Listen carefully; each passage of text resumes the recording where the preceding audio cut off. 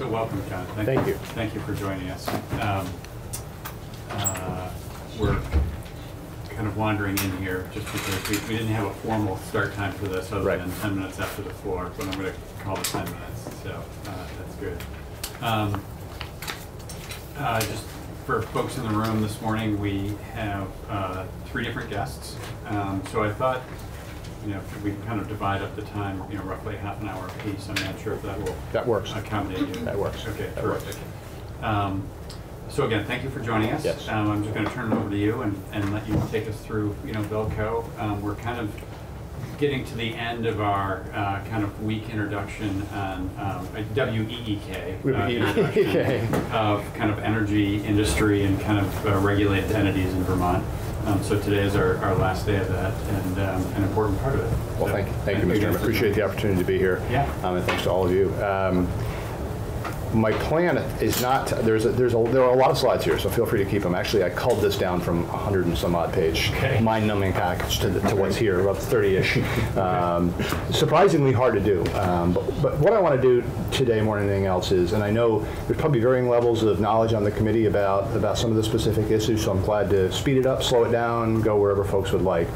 Um, But knowing how much you've been drinking from the fire hose this week on energy issues, um, I want to try to keep it fairly, fairly concise and have you take away a few things about Velco, recognizing we've got the whole session to work together as, as, you know, events dictate. So um, what I thought I would do, again, I'm not going to metronomically walk through the slides, but I thought I would um, try to leave you, give you a sense of what Velco is all about. Where did Velco come from? What has our history been? So that's kind of the context setting give you a sense of who we are today. What do we stand for? And, and actually, it's in my in my I've, I've been in this industry for over 30 years.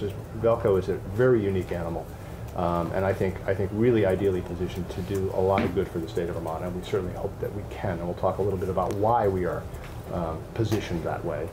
Um, talk about, as I'm sure you've heard from Mary and Rebecca and others this week, um, some of the emerging issues in Vermont, some of the complex emerging issues in Vermont um, and what we see as Velco's role in helping to solve some of those issues. Um, so I think if we could accomplish that today, that would be that would be a win from my perspective. So uh, a little bit about Velco, and I, I ground and I stop at the mission, vision, and values um, for for a really important reason. And um, every company that I've ever been part of has a mission, vision, and values, but I'm not sure I could have told you what they were at most of the companies I was at. But at Velco, this really is our ethos. This is who we are. Um, and to summarize it very quickly, it's fundamentally to act as a trusted partner um, to help create a sustainable Vermont. And that sustainability is economic, environmental, reliability, societally. Um, and it's important, and I'll talk a little bit more in detail a little bit later about the way the, the kind of Velco finance works, but it's really important um, as we think about this trusted partner to help create a sustainable Vermont um, to understand how Velco dollars flow. Uh, we are, as you probably know, owned by the distribution companies in Vermont, as well as a small piece being owned by VLITE, the Vermont Low Income Trust for Electricity.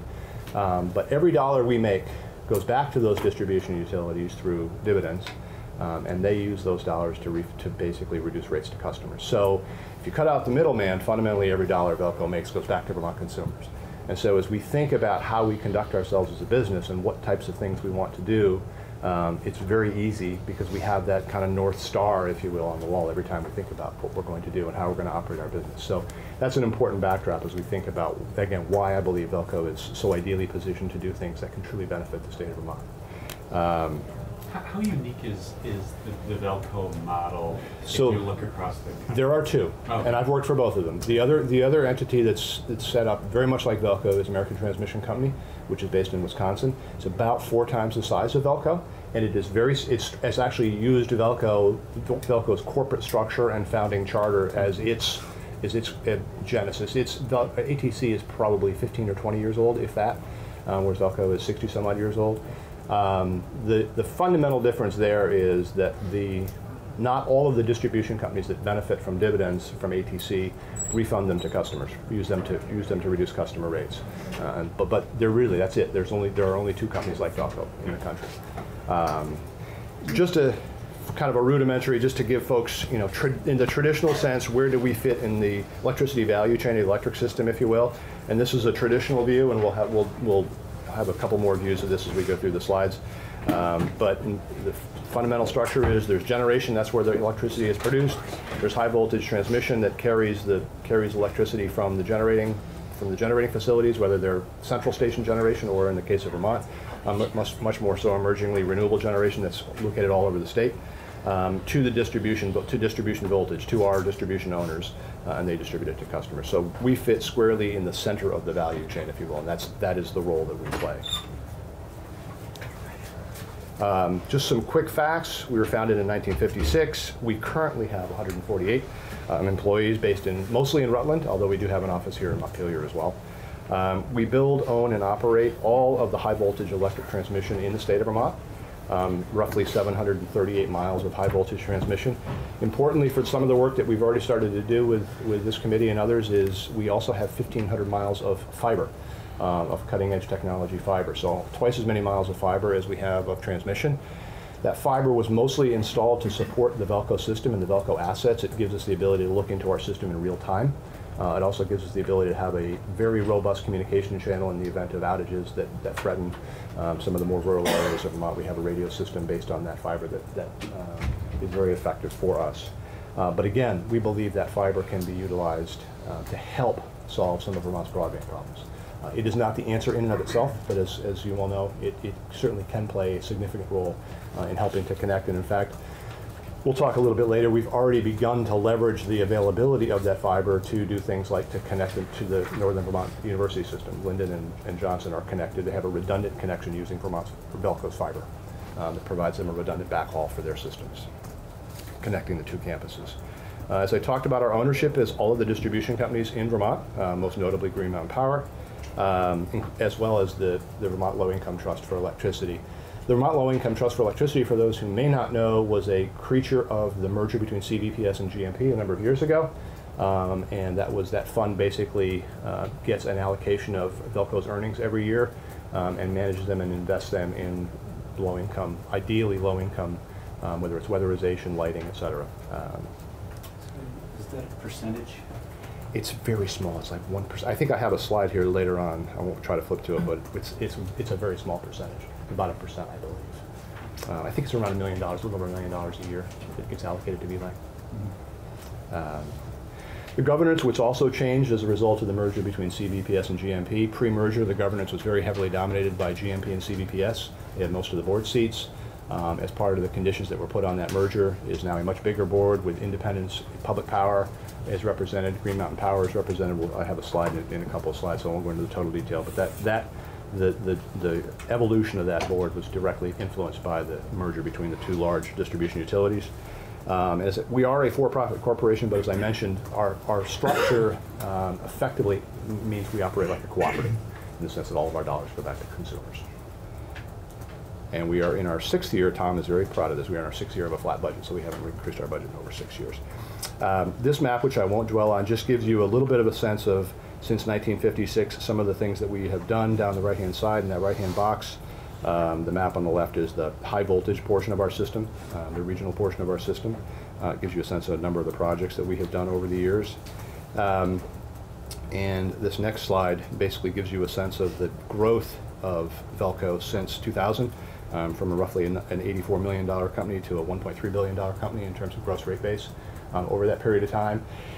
And not surprisingly, that growth occurred um, beginning in the late 90s and early 2000s when New England moved from an integrated structure to a market-based structure, and transmission was forced to play a very different role um, than it played historically. Um, historically, transmission was basically to connect generating stations um, to uh, to load. Um, and after New England and, and many other regions of the country moved towards competitive markets, transmission basically became the highway across which electricity moves to to enable those markets. Um, and so we've seen growth not only in Vermont but elsewhere in New England as well in the transmission system. Um, So I have a question. Shoot. And it couldn't be more fundamental. Uh, Your last slide. Yes. And as well as this slide, so it- it- that kind of indifferent which, which, where you keep the um, slide up there. Um, The 738 miles Yeah. of transmission line that you have, is that, is that map, is is that a pretty good proxy for the, kind of the major assets? That is a good proxy for the major, the 345 345,000 volt lines. Okay. Um, And there's a- what portion of that, of your assets is that? I mean, is that half? It's, it's over, it's over half. Okay. Um, Including, basically in New England, there, there is a delineation between what's considered a regional asset and what's considered a local asset. Um, In uh, roughly, our revenue requirements are roughly 75 to 80% regional assets, uh, and the rest is local. Yeah, and uh, this might not at all be an appropriate analogy, but I, it's, it's kind of how my mind is working, thinking about this of, you know, kind of the, uh, you know, the blood vessels of the body. Right. um, And kind of the major pipes, if you will. Yep. Going to kind of smaller and smaller pipes as they get to, you know, somebody flipping their light switch on. Um, Is it, uh, Velco owns the major pipes? We have, we have, we have the arteries and the larger veins. Yeah. Um, And the distribution company operates the capillaries, I guess I would, Yeah. I would put it in that parlance. Okay. Effectively. Okay, And, and then finally, on the asset growth, um, is that, uh, is that growth a function of um, added assets? Yes. um, To, Yes. so phys, added physical assets? Physically added assets, constructed lines, constructed transmission substations, Got et cetera. Okay, Correct. Thank you. Well, so and my question is on the asset growth, also, also very basic, because I don't know anything about this. Why did it grow, did, did your assets grow so much, and why, how is that related to um, the competitive markets for transmission? Basically, as I said, if, if you think about the old model um, in Vermont, um, Vermont Yankee was built and the transmission would connect Vermont Yankee to major load centers. So there would be, if- if we, if Vermont were a standalone state, there would be a line built into the Burlington Chittenden area, Chittenden County area to serve th- that area. And so the, the um, transmission played a, a a fairly rudimentary function, which was a simple one-way power delivery. Um, when, when industry restructuring occurred in the late 90s, and it occurred in, first in Connecticut, then in Massachusetts, Rhode Island, ultimately to some degree in Vermont, though not quite as much, and to a le- even lesser degree in New Hampshire. Um, the basic premise was that competitive generation would ultimately drive innovation, and would drive costs down, uh, much like a commodity, if you will, moving grain, moving grain from, on a highway system from the Midwest to wherever it was going to be used. It was, think, if you think about electricity as a commodity. But for that commodity to move effectively, um, there needed to be policies that incented high voltage transmission to be built. Um, the, the market premise or the economic premise, which has been supported in a number of studies, is that even though there was an enormous amount of transmission built and money spent on transmission, there was a much more demonstrative reduction in electricity prices compared to what they would have been had that transmission not existed, i.e. the free flow of electricity, the ability of those electrons to move freely wherever they were ultimately used, um, far outweighed um, the cost of the transmission that was built to serve, to serve that, to basically serve that purpose. So this is new transmission that was built, or or is this upgraded transmission? Uh, It's a combination. There's, Yeah. There were a number of new lines built in Vermont as well as in the rest of New England. Mm-hmm. Um, But there were also, for example, some of, some of the Velco lines were reconductors so they could operate either at higher voltages or to, or there were um, substations put in to relieve, uh, you know, other, other, other asset infrastructure put in to relieve, for example, relieve congestion and allow power to Mm-hmm. flow freely. Speaking of congestion, one thing I'm sure you've heard about SHEI, so we'll talk about that in a little bit. But fundamentally, that was the, that was the premise. So it's a combination of reconductoring, rebuilding, um, and building new, new assets, new, new infrastructure. Great, thank you. Sure. Uh, Again, just a quick overview of our distribution company ownership um, structure, mostly as, as you see GMP, but obviously uh, BED is a significant owner. Uh, They, they have a board seat. Um, um, Vermont Electric, VEC, has a board seat as well. Um, And those, those other public entities that do not have specific seats on the board, and we'll talk about that in a minute, are represented by public power representatives on our board. I won't dwell on the corporate structure. Um, Really not a lot of critical messages to take away there. Again, this is, this is a, this is a um, visual of our current board structure, again, driven to a great degree by the, the the CVPS GMP merger. Um, So GMP has four seats on the board. Um, VPPSA has a seat, um, VEC and BED. Um, And then there are three seats for VLITE and two seats for public power, and those are elected annually by the representative group of public power entities that own parts of Velco. What is VLITE? So VLITE is that, that low-income trust that was a creature of the, the the GMP CVPS merger. Oh, okay. Um, Just to give a, just to give you an over, a quick overview of Um, The the differences in terms of the way transmission is regulated compared to distribution. Um, Transmission is considered interstate commerce versus intrastate commerce, and therefore is regulated at the federal level. So from a, from a rate regulatory perspective, we are primarily regulated by the Federal Energy Regulatory Commission, FERC, in Washington DC. Um, So they establish, they establish for all of New England and all of the transmission industry in the US, they establish the rates and tariffs and rates of returns and, and and other, other items in terms of how we're regulated and how we can price what we charge our customers. Um, They also, since the blackout of 2003, that affected New England significantly um, and the Atlantic coast significantly, um, have been very focused on reliability and and compliance standards, um, and created a- an entity called NERC, and that, we'll, we'll see that in a minute. And they are, they, NERC is a, is a creature of FERC, um, so they oversee not only the, the, um, the regulatory rate making, uh, they also oversee reliability, um, and all of the ISOs and, and RTOs in the U.S., New England ISO, New- York ISO, um, are fundamentally creatures of FERC as well. So, Um, Of the tran- transmissions, power transmission, how much is uh, for use in-state and how much is passed through?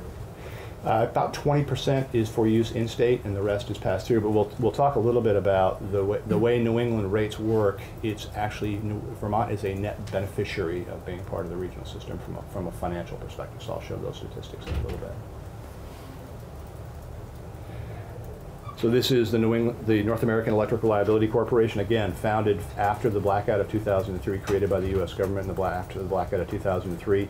Uh, and their, their fundamental purpose is to develop and enforce reliability standards to ensure high reliability for the electric transmission system, which, as we talked about in those, in a, in a market type of economy, um, the, the availability of that transmission system, both from a reliability perspective, but also from a cost perspective, uh, is so critical. Um, NERC's emerging focus, not surprisingly, over the past few years has been around cyber, um, cyber attacks and, and ensuring reliability from, from what is becoming an ever more sophisticated foreign state uh, threat uh, to reliability. And we don't have to pick up the Wall Street Journal more than once a week to read about the threats coming from the from a cyber perspective for, into the electric system. Uh, we talked about ISO New England. I think Molly is, is here uh, in a little bit to talk about ISO New England's role. And we, as Velco, are a member of, of the ISO New England. Um, and ISO New England basically plans the transmission system and operates the markets, both energy and capacity markets in New England. Um, and they also, um, they also are the, the primary transmission operator um, for, uh, for New England. Velco is actually a local control center, so we do have the ability to, to control and operate the transmission system in Vermont as well um, and have a, and have a control center in our facility in Rutland as well as a new, a backup center that we're going to build uh, in New Haven, Vermont. Um, And then this just, this is just a representative of kind of the, the concentric circles or or relationships between um, Velco and the DUs and the various regulatory agencies. Um, the Vermont, the Vermont uh, Public Utility Commission jurisdiction over, in terms of Velco, in terms of its purview over Velco, was fun- fundamentally focused on um, siting and certificates of public good and public need. Questions before I move on? That was pretty quick.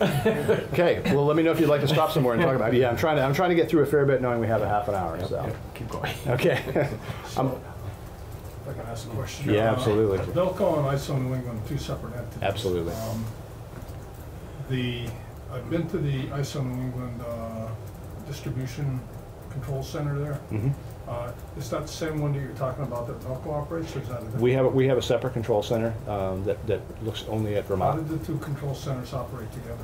They can operate together or separately, depending on the event that dictates. Fundamentally, ISO New England is the primary operator of the New England transmission system, but Velco as a local control center, and that, that, that term has meaning uh, in FERC, FERC and NERC space, in operation space, um, has primary op, day-to-day op, uh, responsibility for operating the system, but everything we do is seen and overseen by, by ISO New England, so they have control of the entire New England system. But we actually do most of the switching and physical operation of the, Vel- of the Vermont system.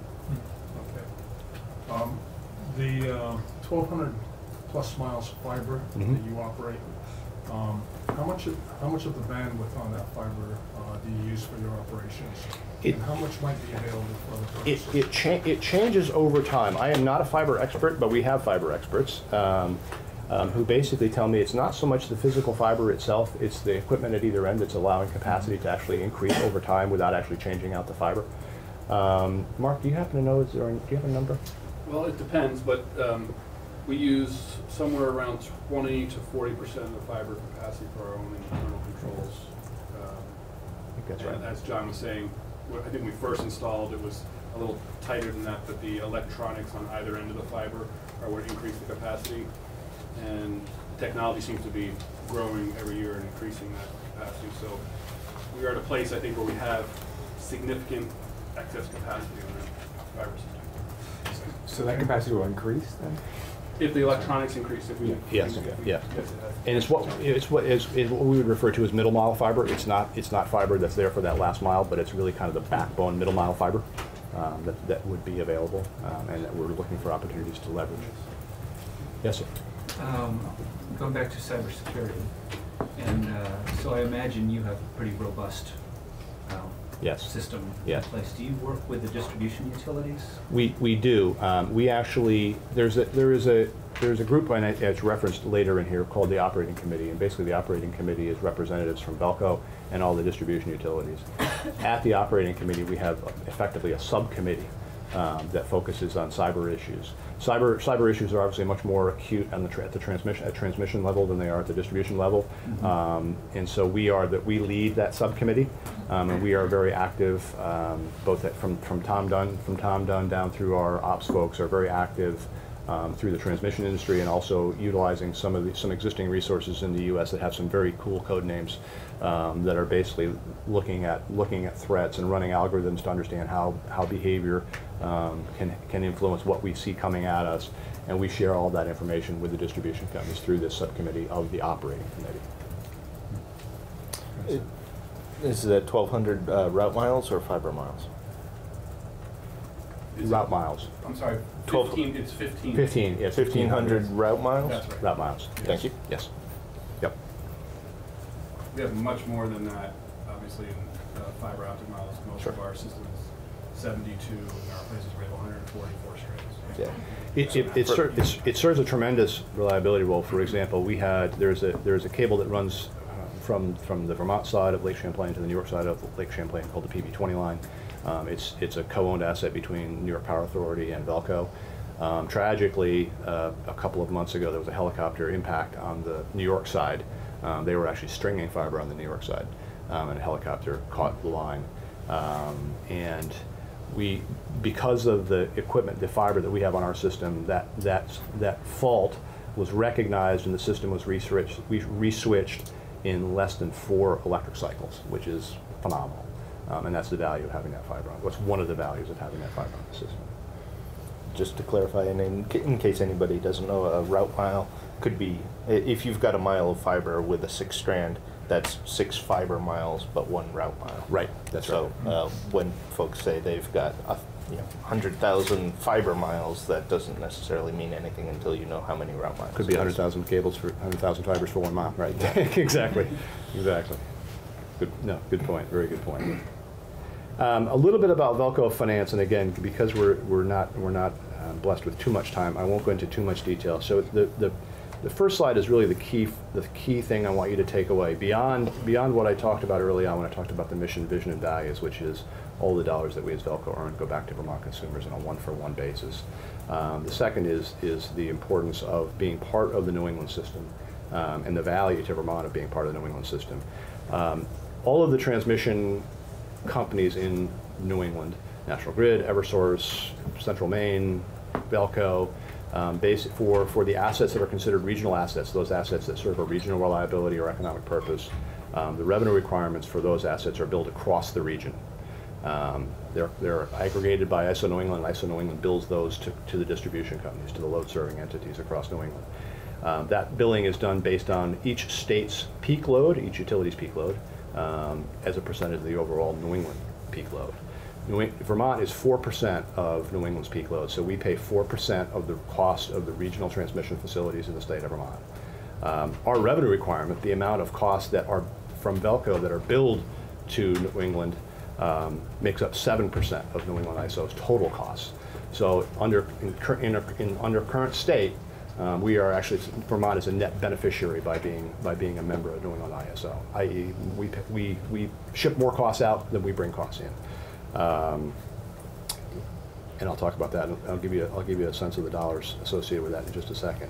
This, this just gives you a sense of the overall um, cost for Velco, the overall revenue requirement. And revenue requirement, in utility terms, for those who don't know, and many probably don't very well, um, is basically your return on and of investment, so your depreciation of an investment over its life, uh, the carrying cost of that investment, both debt and equity, and then your operating costs, including taxes and salaries and everything else, and then cost to operate a company. So the revenue requirements for Velco are paid, are 80% are allocated to the region, uh, so that's the percentage of our assets fundamentally that are, that are regional uh, assets, and 20% remains in Vermont. So what that looks like from a from Vermont's perspective, and this title of this slide's a little bit deceiving, but um, Vermont consumers pay roughly $88.5 million of the regional costs, of costs of the regional transmission system. They pay $41 million of costs, costs associated with the local Vermont system, i.e. costs that can't be allocated across the region. But Velco as an entity earns $93.9 million. That all goes back to Vermont consumers. So the net cost of transmission, and this is in 2019, based on 2019 budget, the net cost of transmission to Vermont consumers is 34 point, $35.7 million. So again, a net beneficiary by being part of the, the regional, um, the regional uh, part of the New England ISO. And I don't know that we'll get to it, but another, we would- do have a slide later on, which you're, you're obviously free to peruse as you, as you see fit, um, which shows that Vermont has traditionally been an importer, a net importer of power. Uh, That became much more acute after the closure of Vermont Yankee. And so we are, we right now import power, import power 100, 100% of the time. We are a net importer of power. So the physical reliance on that regional system um, is, is real as well.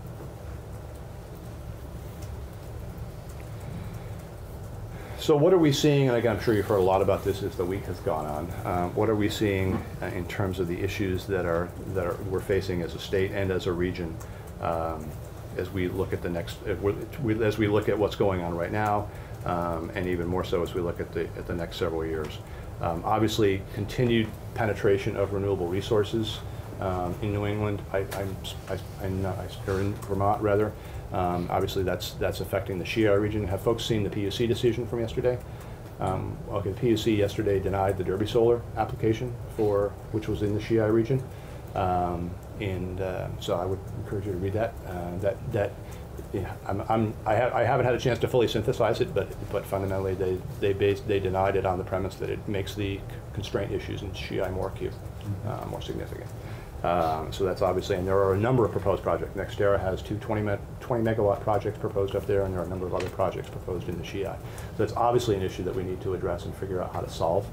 Um,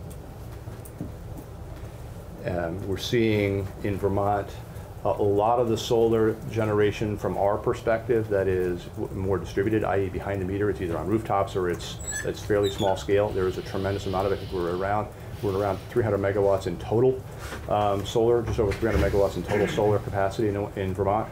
Um, some expectation we may climb as high as 1,000 um, over the next few years. A lot of that solar for us as Velco is invisible to us. We can't see it because it's behind the meter, and so we, and we don't know how it's operating. We don't know whether those solar panels um, are have snow on them or not, um, whether they have icing on them or not. So our ability to see the resources and thus balance the system and operate as that local control center is getting more and more complex. Um, it's not a problem; it's a challenge, um, and we're actually doing very well. At the, the, our operating folks are doing very well at dealing with it, but it's going to be an increasing challenge for us. Um, and again, as storage begins to develop, that's another that's another distributed asset that will create an ever more dynamic system for us to to be able to operate in balance. Um, an issue that's not a Vermont issue, but it but it but it has Vermont tentacles to it, um, is the the increasing reliance. And you'll probably hear from this from Molly. I don't know um, a little bit later, but um, when she when she comes, but is um, the dependence of New England from a generation perspective on natural gas. As a lot of the older coal and, and oil-fired plants have retired, as some of the nuclear units have retired, um, the, the, the portfolio of New England generation has, has gravitated towards natural gas. I think it's 50 plus percent of New England generation is now natural gas fired, um, which during normal operating conditions is, is fine um, from, a, from a physical perspective. But there's been no new additional gas capacity into New England in a, in a number of years. Um, And generators don't sign up for firm gas. They don't have the ability to recover that cost through their, through the, through the markets. So they sign up for interruptible gas. So they are the first customer to be interrupted on a cold peak day. Um, And we just actually saw gas customers in Massachusetts and Rhode Island getting cut off this week uh, because there wasn't sufficient gas supply across the Algonquin pipeline into New England.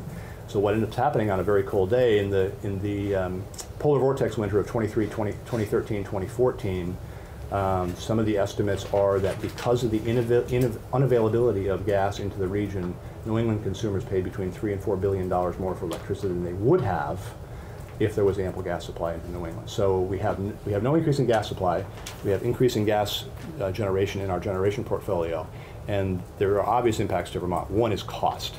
Um, So the cost comes in two different ways. One is cost, the simple cost of that, those peak day, that peak day power um, when the gas isn't available for those units to run. Uh, And the second is ISO is wrestling with resource adequacy, and you'll definitely hear about this from the ISO folks, and what we call fuel security. Uh, And that is, some of these plants that announce that they want to retire, oil plants, um, or even some of the gas plants they want to retire, simply can't be allowed to retire because they're too important to the system from a reliability perspective. And so they're fundamentally given cost of service contracts, which are expensive, and Vermont consumers pay a portion of those costs. And so from Vermont's perspective, I think as we, as we as Velco think about our, our advocacy at New England ISO, uh, a lot of it is around fuel security. We also get very concerned, uh, we actually did a, we did a uh, emergency response uh, exercise at Velco where we looked at what would happen if we were in a scenario where we had an extended cold snap, two, you know, one to two weeks, 10 to, 10 to 14 day cold snap, where a lot of, where the gas fundamentally became unavailable to those generating units. The units that run on oil uh, and other fuels where there's, on- where there's limited on-site inventory actually are unable, unable to run and you might lose a, you might lose a major transmission line. The Hydro-Quebec power doesn't flow typically well in the winter. It either stays in Quebec or it's frozen.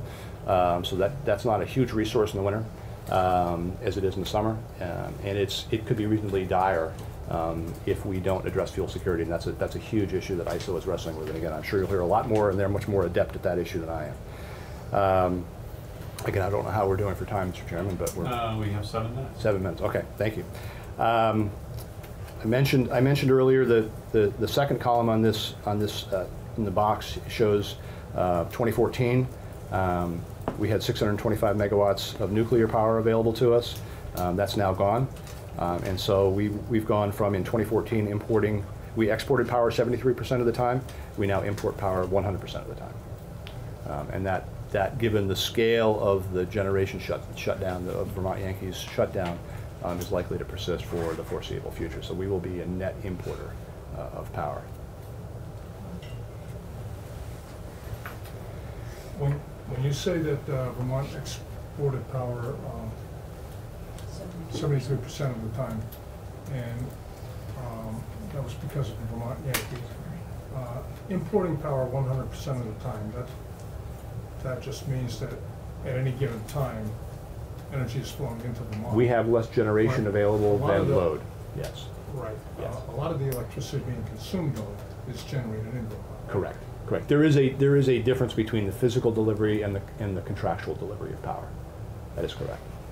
That is correct. So a lot of the, a lot of the, um, a lot of the, the larger renewable projects that are proposed in Vermont are being proposed um, under contracts that are bid into either Connecticut or Massachusetts RFPs. So those contra, those are contractually committed to those states.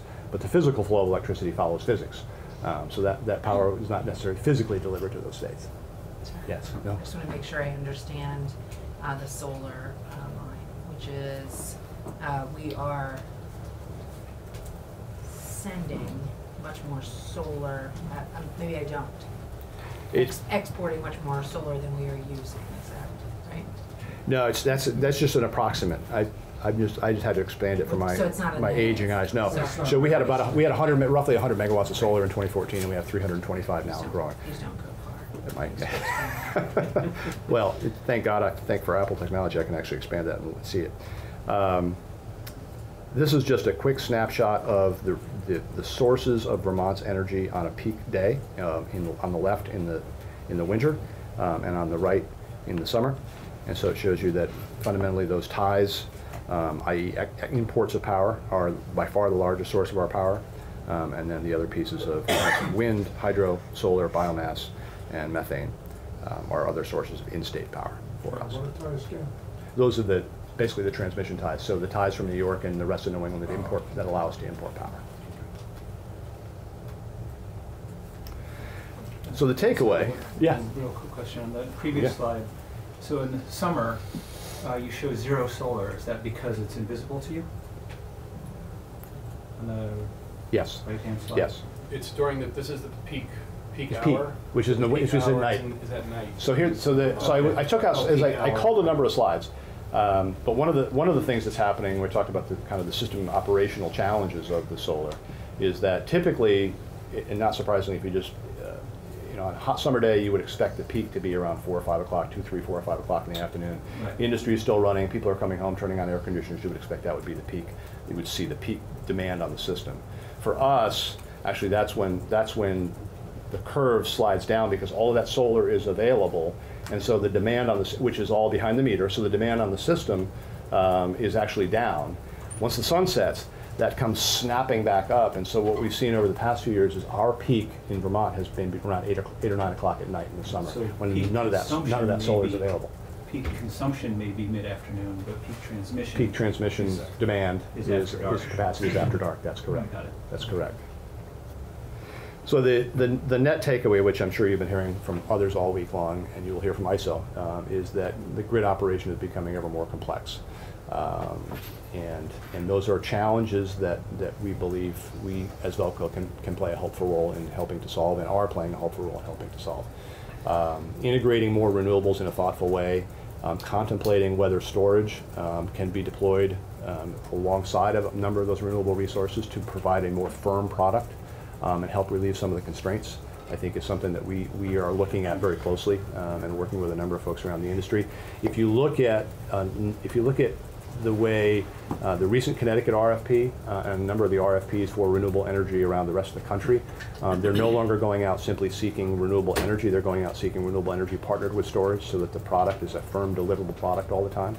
Um, and I think from a Vermont's perspective, that's the implementation of storage, um, where economically and reliability, reliability-wise feasible, um, is something that we are looking very closely at. Um, and obviously continuing to work with New England ISO um, on the on the fuel security issues. I think I'm down to about one minute. Um, so, I guess what I would, what I would, this is the, this is, this is the Sheffield Highgate inter, export interface. Um, what you've heard around, heard about is SHEI. Um, and fundamentally, obviously, it's a part of the system in Vermont where there's very little load. Uh, the demographics are fairly, are fairly sparse uh, in that part of the state. Um, the, the Hydro-Quebec uh, lines comes through the Highgate, Highgate uh, um, converter. Um, and there's a, there's a significant amount of renewable generation in that area that's looking to get out, especially at, at peak times of the day when renewable generation is running. Um, it is currently constrained. Um, and so, along with the distribution companies, we are actively looking at, aggressively and actively looking at solutions to help, help SHEI, help solve SHEI, but also, you may have heard this week from others about to help SHEI, to keep SHEI from sliding south, from growing um, and making sure that that part of the, the part, that part, that constrained part of the state doesn't become bigger and more acute. Uh, and so, from the perspective, again, I think it's a combination of finding, finding additional load, additional demand, um, maybe some transmission upgrades, probably not new build, but potentially upgrading some existing lines um, as cost effectiveness uh, dictates, uh, storage, uh, and again, thoughtful, thoughtful siting and, and development of renewable resources in the SHEI is, is, are all probably part of the answer. And then just to kind of reground on the strategic initi, or on the mission, vision, and values, uh, I talked a little bit about the work that we did to interconnect the Vermont State Colleges, the Northern, the Lyndon and Johnson campuses, um, and we are looking at other ways um, to leverage our existing personnel and our existing resources and assets and capabilities um, to generate additional revenues, which again, all flows back to Vermont consumers. Um, so the revenue that we earn from that Vermont State College um, contract goes back to goes back to our owners and ultimately goes back to Vermont consumers. And so we are actively looking to do things um, outside of our immediate core business, adjacent to that core business, uh, that can uh, that can add additional value to the state of Vermont. And with that, I would I would close. That was a great presentation in a confined time. I feel like this FedEx man. And, and you fended off questions very well, too. It was, it was great. Um, we're having a hearing next week on SHEI, uh, to dig a little more deeply into that. Um, it's definitely something that's come up a number of times Yes. this week, and, um, we may be inviting you back to. Happy to, happy to, Just happy to to come back. that again. Yeah. Yeah, no, happy to do, happy to do so and, and bring a, bring a real technical expert if you would like, who, Yeah. who has a really good understanding of the, the issues in SHEI. Great. Absolutely. Thank- Thank you very much. Thank you. Thank you. Um, Monday or Tuesday? Yeah. Excuse me, Tuesday or Wednesday. Tuesday Wednesday. You still don't know which week we Thank you. Yeah, So- thank you. Very quick uh, question on net metering. Um, is net metering in front of or behind the meter? Uh, um, Let's talk about it in a minute, but Okay. you're, um, it's, it's net, literally it's net. So when your energy consumption is shown to the real world. So the production is behind the meter, but Yes. some of it flows through reverse. That's right. Okay. Just wanted to make sure. What about community solar? Sorry, sorry. Community solar fields. You're getting on my job. And As, as a net meterer, um, I, I understand your question, but I'm not sure if there's a community solar. Well, that must be, If community solar isn't consuming at all, it's just producing, then it wouldn't be a net. No, but I mean, it's connected, it's connected to the grid, like, on the grid side of the meter, not on the, Right. right? So, so it's not behind the meter in that case. So.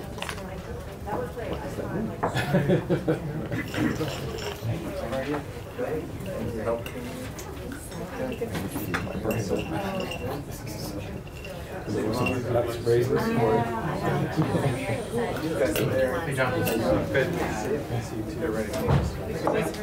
Uh, somebody was saying you've got two. Hello, how are you? No, one. One, okay. I'm Eric, tell me the name. Plug it in. I think I tried getting a volt. Do you have a laser? Sorry. I do, but You just shined it in somebody's face. I did. I'm so sorry. I didn't even know it was on yet. Thank you. Sure. I saw a green dot go Did, up. did anybody go home? I don't think it hit their eye. Okay, good. Clearly, like, it's not.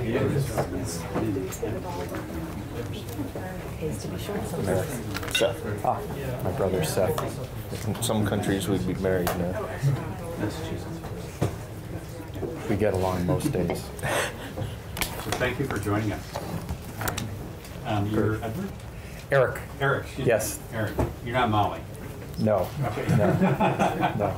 Those are bigger shoes. Yeah. Uh, I'm Tim Briglin, uh, the chair of the committee, and um, thank you for joining us today. And um, I'm happy that we have you kind of on, on the heels of Velco. I think this, this actually does dovetails quite well in terms of our um, committee's understanding. So um, I'm going to let you guys um, run with it. We have um, we have until about 11:30. Okay. Um, just to give you a sense of um, what our what our time frame is. Okay, sounds great. Uh, For the record, my name is Eric Johnson. I'm the Director of External Affairs at ISO New England. Uh, We are located just down 91 in Holyoke, Massachusetts. Uh, With me today is my colleague Molly. Good morning, Molly Connors, ISO New England. Great. And uh, we are also represented here in uh, Montpelier by John Hollar, who I think you know. So as a follow-up, if there's anything I can do, Molly can do from uh, the ISO's perspective for John, please feel free to use us as a resource. And uh, so, Mr. Chairman, Vice Chair, thank you for having us down. Uh, We put together a presentation which gives you kind of a broad look at the organization, some of the resources that are tied into the system, how that mix is changing and uh, we'd be happy to take questions along the way. We'd also love to have you come down and see the control center in Holyoke, get a firsthand view of the operations. I'm very eager to do that. I Yes. know Mike was saying he'd, he'd been to it. Yeah, but, uh, so uh, let, let- let's make that happen if we can, and we'll, happy to accommodate you. Uh, Molly also brought a map of the, uh, the power system, just as a resource for you. This is public information, it's on our website, but uh, maybe a point of reference if you're looking at the transmission system in the future from the grid perspective. Um, So I think I'm going to scroll here. Yep. We'll talk about the organization itself, uh, the grid at a glance. Uh, We'll talk about some of the strategic planning issues that we've dealt with. I'm not sure how much of that has come up in the conversation, but we can discuss that. Spend some time talking about resources on the grid and how the transmission system uh, is evolving. So our organization um, celebrated its 20th anniversary in uh, uh, after the formation in 1997. So we came about at the same time that Congress was opening up the competitive wholesale markets to new power generators uh, across the country, and um, many of the New England states were opening up retail access for competition. So the ISO was formed to oversee the competitive wholesale markets in New England. I understand, obviously, Vermont's in a different place, not having gone down that path, but still are part of a, a regional transmission system in a wholesale market. Uh, we are the reliability coordinator for uh, most of the New England region. Uh, the one exception to that is the northern part of Maine, which is really not connected to the New England grid. It's actually connected to the system in New Brunswick. But we uh, take care of reliability coordination for essentially the six states in the region. And unlike all of the companies that own transmission, own power plants, may be taking, taking financial interest uh, positions in the market, we are independent of all of those market participants. We have a code of conduct that we abide by as employees. Um, our senior team abides by that, and we have an independent board of directors also. So when Molly and I joined the organization, we don't own any stock or financial interest in uh, Velco or CLMP or in any of those companies that are participating in the market. We're also neutral when it comes to technology. So sometimes that works out the way people like, and sometimes people want us to be more of an advocate for certain resources, whether it's uh, a renewable technology, gas technology, hydropower, or uh, nuclear power. We say we administer the wholesale markets and we select the least cost resources. We don't pick which technologies uh, should be developed in the region. So you're agnostic except for cost and reliability? Yeah, it's really reliability is the primary uh, objective, and uh, the costs really reflect the, the physical constraints or resources that are operating in the system. So if you step back from sort of the governance of the organization and think about our three major roles, it's grid operations. In that area, you can imagine that we are like the air traffic controller for the bulk power system. Uh, air traffic control is making sure that planes take off and land safely. Our job is to make sure that we balance supply and demand instantaneously, 24/7, uh, every day of the year for the New England power system. And we're operating the high voltage transmission network. And uh, this is unlike the poles and wires you would see moving down uh, local streets and local communities. If there's a local outage, somebody hits a pole and the power goes down in the community, that's not going to register in the transmission system that we operate. So we're looking at the lines that typically you would see crossing the highways, uh, usually on the larger wood or uh, steel lattice structures. Um, so that's the grid operation. Uh, the market administration function, we uh, administer the wholesale market platform for the region, bring together buyers and sellers. Um, the buyers are typically the load serving entities. In some cases, that's utilities. In some cases, cases it's a competitive supplier. And uh, the sellers would be people who own power plants in the region who want to sell that, or people who have contracts with generator owners, or even contracts outside of the region and they use the transmission system to import that power. So we administer that market, and it's a little bit like the um, New York Stock Exchange, right? We're not buying and selling directly, we provide that platform for buyers and sellers to do that. And a couple questions? Um, That was my question, I think you just answered. You don't own any transmission facility. That's correct. Do you own uh, infrastructure other than the headquarters in Holyoke? No. Well, yes, we own uh, headquarters in Holyoke, and then we have a backup facility in Connecticut, which we use for business continuity planning purposes. Competitive supplier. Yeah, so in, um, in my state, I have the option to take my power supply as a retail customer from Eversource, and they would buy that power on my behalf, or I could choose a competitive supplier who's licensed by the Public Utility Commission in Connecticut to sell to retail customers. And every state except Vermont, for Vermont has some form of retail competition, so those customers can do that. It's, Hence and- yep. why I didn't. Yep, no, that's fine, that's fine. Um, And then, uh, power system planning, we have responsibility to look five to 10 years into the future, look at what the demand for power is expected to be, look at the resources that we have available, look at the resources that are committed to coming online through our market, and we make sure that the transmission system can serve that anticipated demand and that we have enough resources to do it. We do that really in two ways. We, we plan the transmission network, and if there's upgrades that are needed, we work with uh, the utility companies to make sure that we have a reliable system in the future. and then we run the uh, forward capacity auction to make sure that we have enough resources moving on those wires um, to serve the demand. Uh, a really busy diagram. It might be uh, tough to see on the screen, but anybody who's highlighted in red is an entity that oversees the work that we do as an organization. So we're kind of in the middle. Sometimes people will say, well, the ISO is responsible for a lot of things. We are, but we report to, as I mentioned, independent board of directors. Uh, our board's profiles and um, information are posted on our website so people can see who they are. Uh, ultimately, we report to FERC, the Federal Energy Regulatory Commission. Uh, FERC delegated responsibility after the blackout 2003 to an organization called the North American Electric Reliability Corporation, or NERC. Uh, they set reliability standards for most of uh, the United States. And then within different regions of the country, as the systems might be different, there are regional reliability standards, and we're part of the Northeast Power Coordinating Council. So uh, lots of folks setting reliability standards that we are responsible for implementing in the region. And then as you look on the, uh, the center and the right, there's really two groups of what we call our stakeholders. Uh, there would be the NEPOOL market participants. They are the folks who actually own uh, resources in the wholesale market. They have a number of sectors. Uh, the newest of those sectors is the alternative resources sector. It's been in place since 2005 when FERC sort of anticipated lots of smaller renewable alternative technologies coming into the market, making sure that they have a voice in the stakeholder process. And uh, they have a lot of technical and stakeholder meetings that take place throughout the month.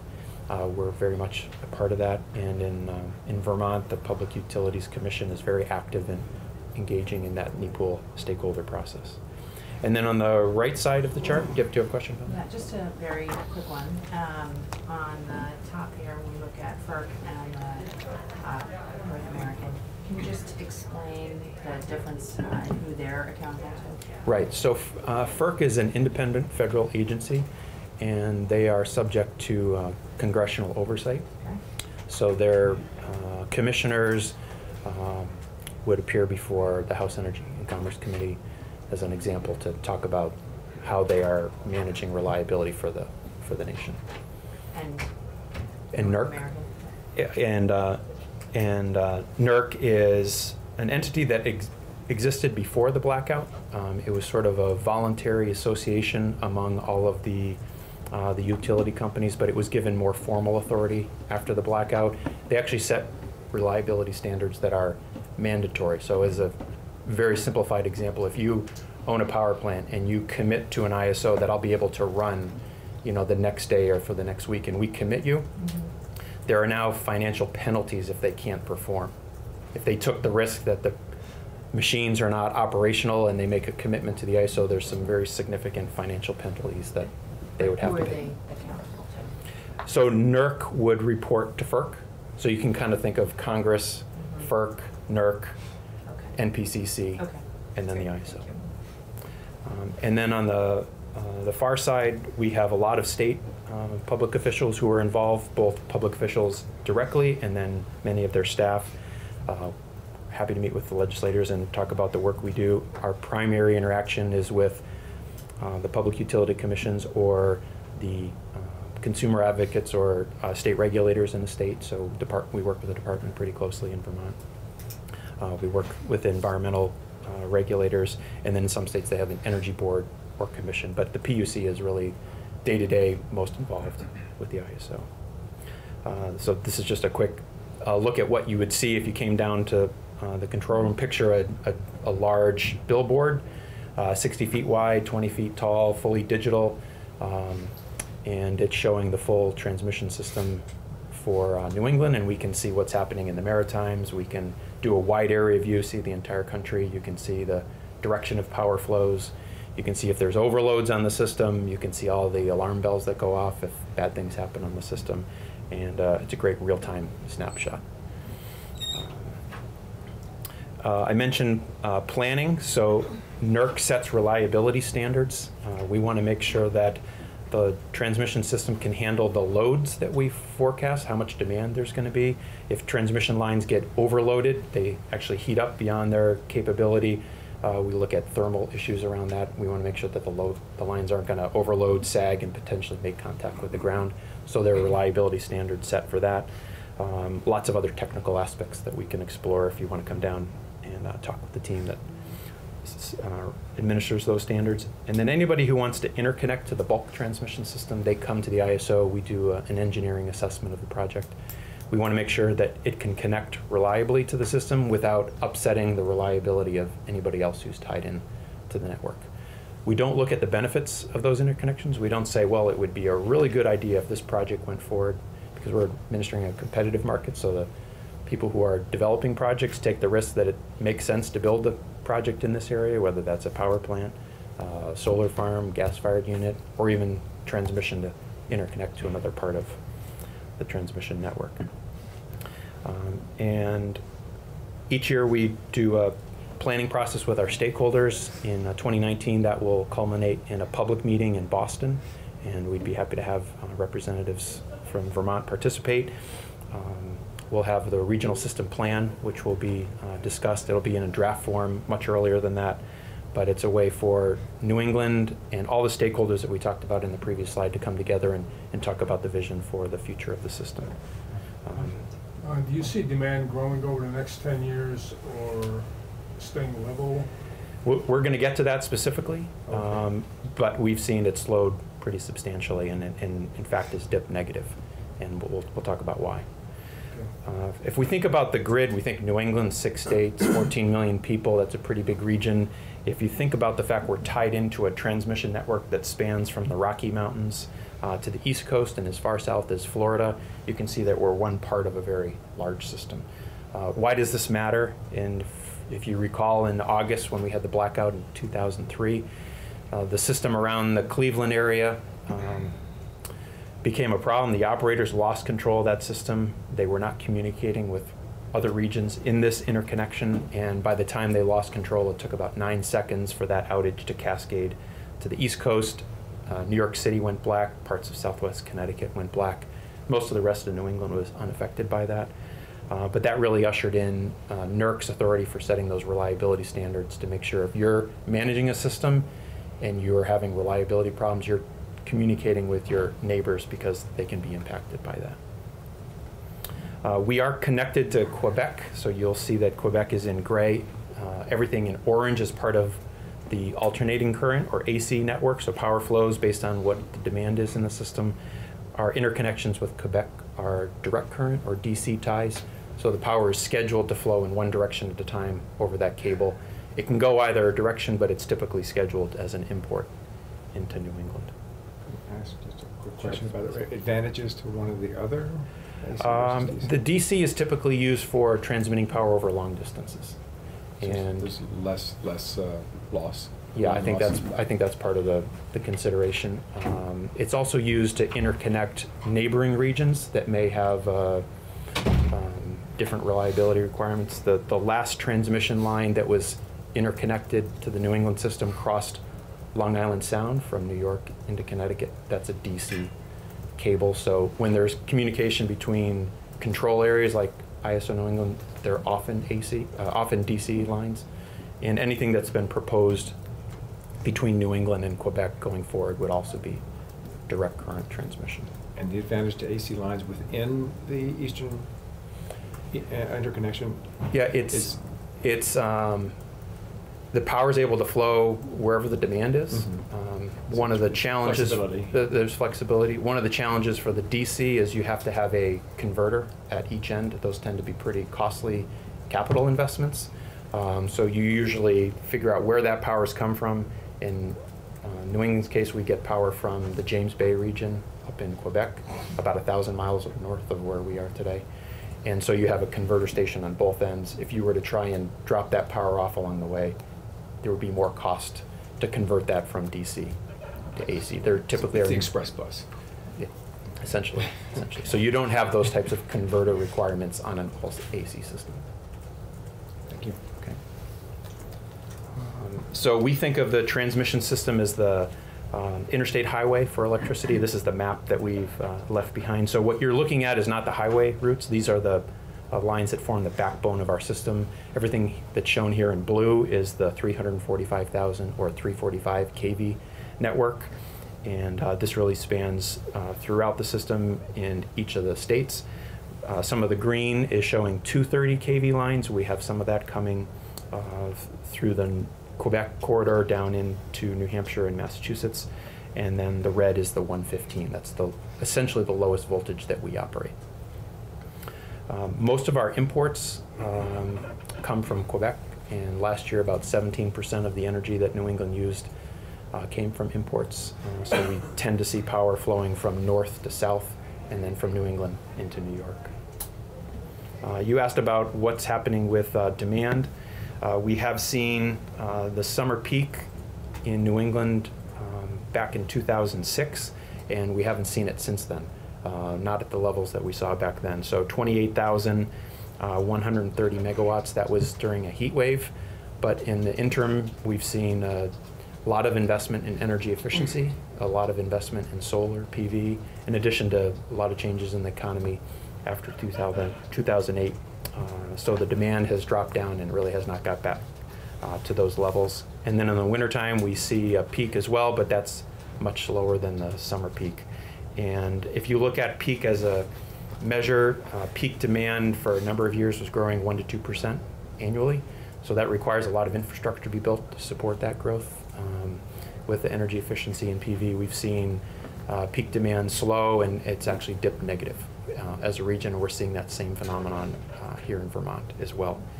And then if you look at all 8,760 hours in a year, the energy that we use as a region, we've seen that flatten, in some cases go negative uh, as well. So that's a system without heavy penetration of electric vehicles.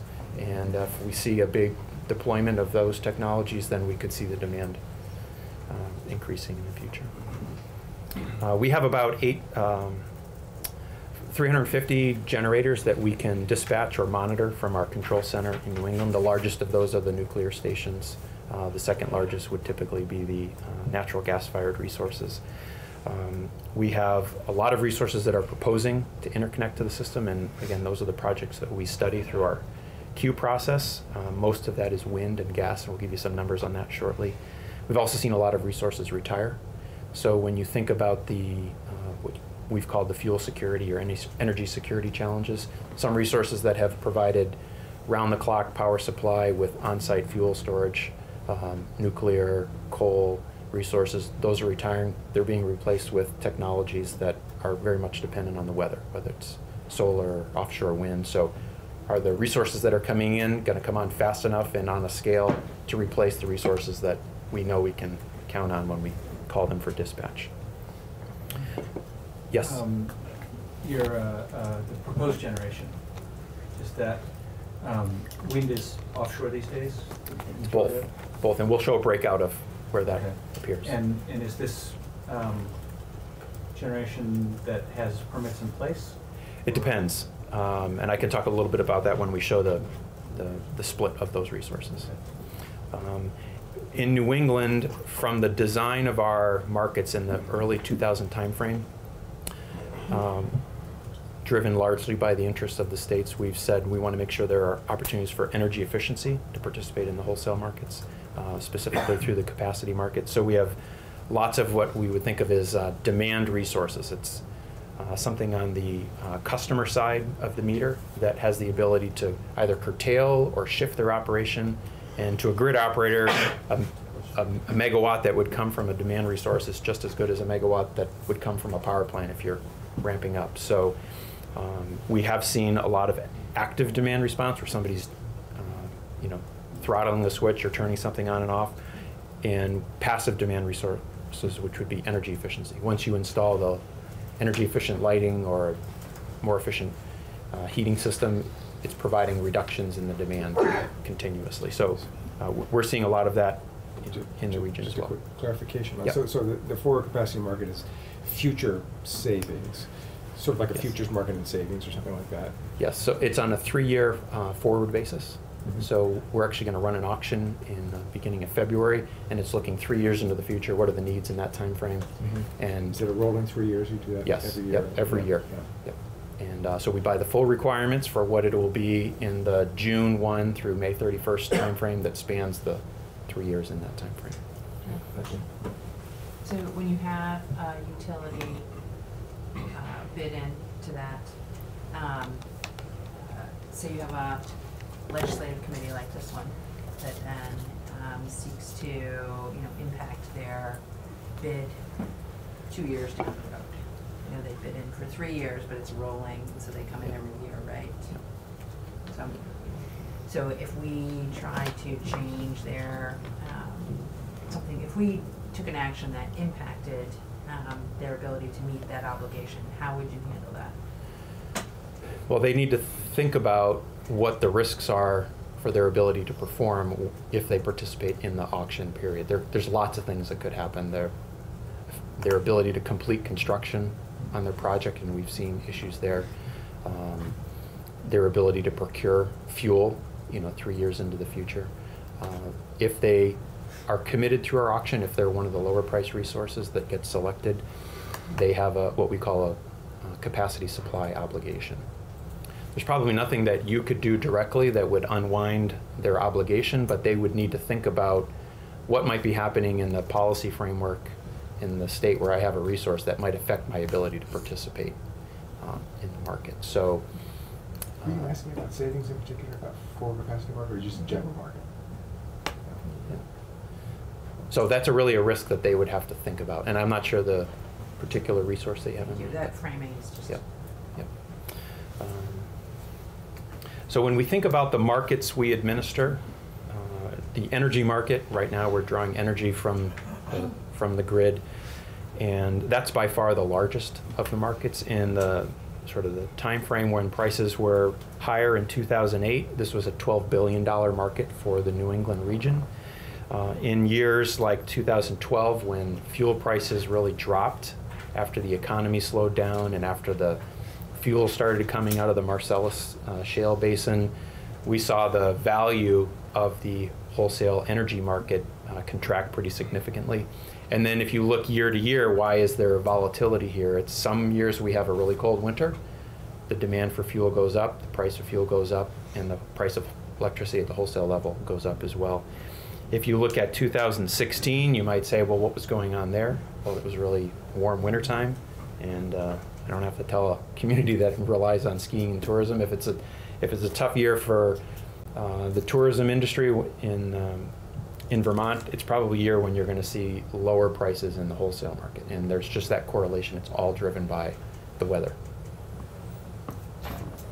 Yes. Um, I, looking at, at the first two, 2008, 2009, I would assume that a lot of that is driven by economic recession as Yes. opposed to weather. So year to year, the weather is a factor. Um, we're seeing it more in the recent time frame with um, constraints on the gas pipeline. But if you look at 2008 to 2009, um, our team would say that was a direct correlation to the slowdown in the economy. And actually, I think we have another chart that shows that a little bit more closely. Uh, so the second market we administer, the forward capacity market, uh, this is influenced by who is uh, committing to stay in the market, uh, who's retiring, and who wants to develop or build uh, new resources. That market has been around a billion to two billion dollars uh, for most of its history, and in recent years we've seen some pretty large retirements of resources around the system. Uh, the Vermont Yankee System uh, plant retired, the you know, Salem Harbor Station north of Boston retired, Pilgrim Station in Massachusetts will be retiring. And these tend to be really large assets, so they have an impact on the balance between the supply and the demand. So we've seen higher prices in our capacity market in the years when we've seen those big retirements. Okay, so that, in- Yeah. so that increase um, that we're seeing the value of the forward capacity market is really an expression of concern about the, what's gonna be available. That's right, right. And to uh, Representative Campbell's point, as a forward market, uh, these prices for 2018 were really related to the auction we held several years ago when we saw the retirements. So it's not related to the instant activity, it's depending on when they come in for retirement. So we're running an auction uh, in February, and I expect these prices will likely be much lower because we're not seeing uh, large-scale retirements in this auction, but those results will be available in public. So what we're seeing there is an expression of concern by our, possibly, could be construed as an expression of concern about um, how much energy is gonna be available in the future by our utilities, and is that, From 2015, uh, Right. looking at the increase in the forward capacity, the in value 2018. Yeah. But those, those bids were made in 2015, weren't? Right. So what's coming next? Right. Um, We, we have lots of resources that want to participate in this auction, so I wouldn't frame it as we're concerned there won't be enough resources. Uh, More participants enter the auction every year than we need. Some of them are priced really high and they never get selected. The ones that are priced lower are the ones that come out of the auction with a, with an obligation. I I think what you're asking is, is- is it an expression of constrained supply? It Is sounds that- like something I may need to take off. Yeah, I would say it's a, it's a, it's related to the amount of retirements. It's directly related to the amount of retirements that Of- we're of seeing. generating capacity. That's correct. Yeah. Would you, I would phrase it, the, the supply has become smaller, so the price is, is higher. It's Right. where, it's where supply and demand meet in the auction. that's- Yeah, right. yeah. So if they're retiring, there's, that chunk of supply is gone. Mhm. That's how I. Which makes it. savings more valuable, or more expensive. Okay. um, If we think about the resource mix, I- was that a comment or I don't know. I'm, I'm Okay. just trying to understand, that's all. Okay, I- I'm Go- mindful going, of the time. So the, uh, the system has evolved pretty significantly in the timeframe we've administered the markets. If you look back to 2000, which is the blue, uh, you can see that uh, oil and coal provided about 40% of the energy in the region. That's essentially fallen off the map in uh, the 2018 timeframe. That shift has gone towards natural gas. So as a region, we've built lots of gas-fired power plants. Uh, That's what is serving most of the load. Uh, On an annual basis, about half. If you look at our website in real time, uh, in the summer and spring, you might see that that is 60% or more.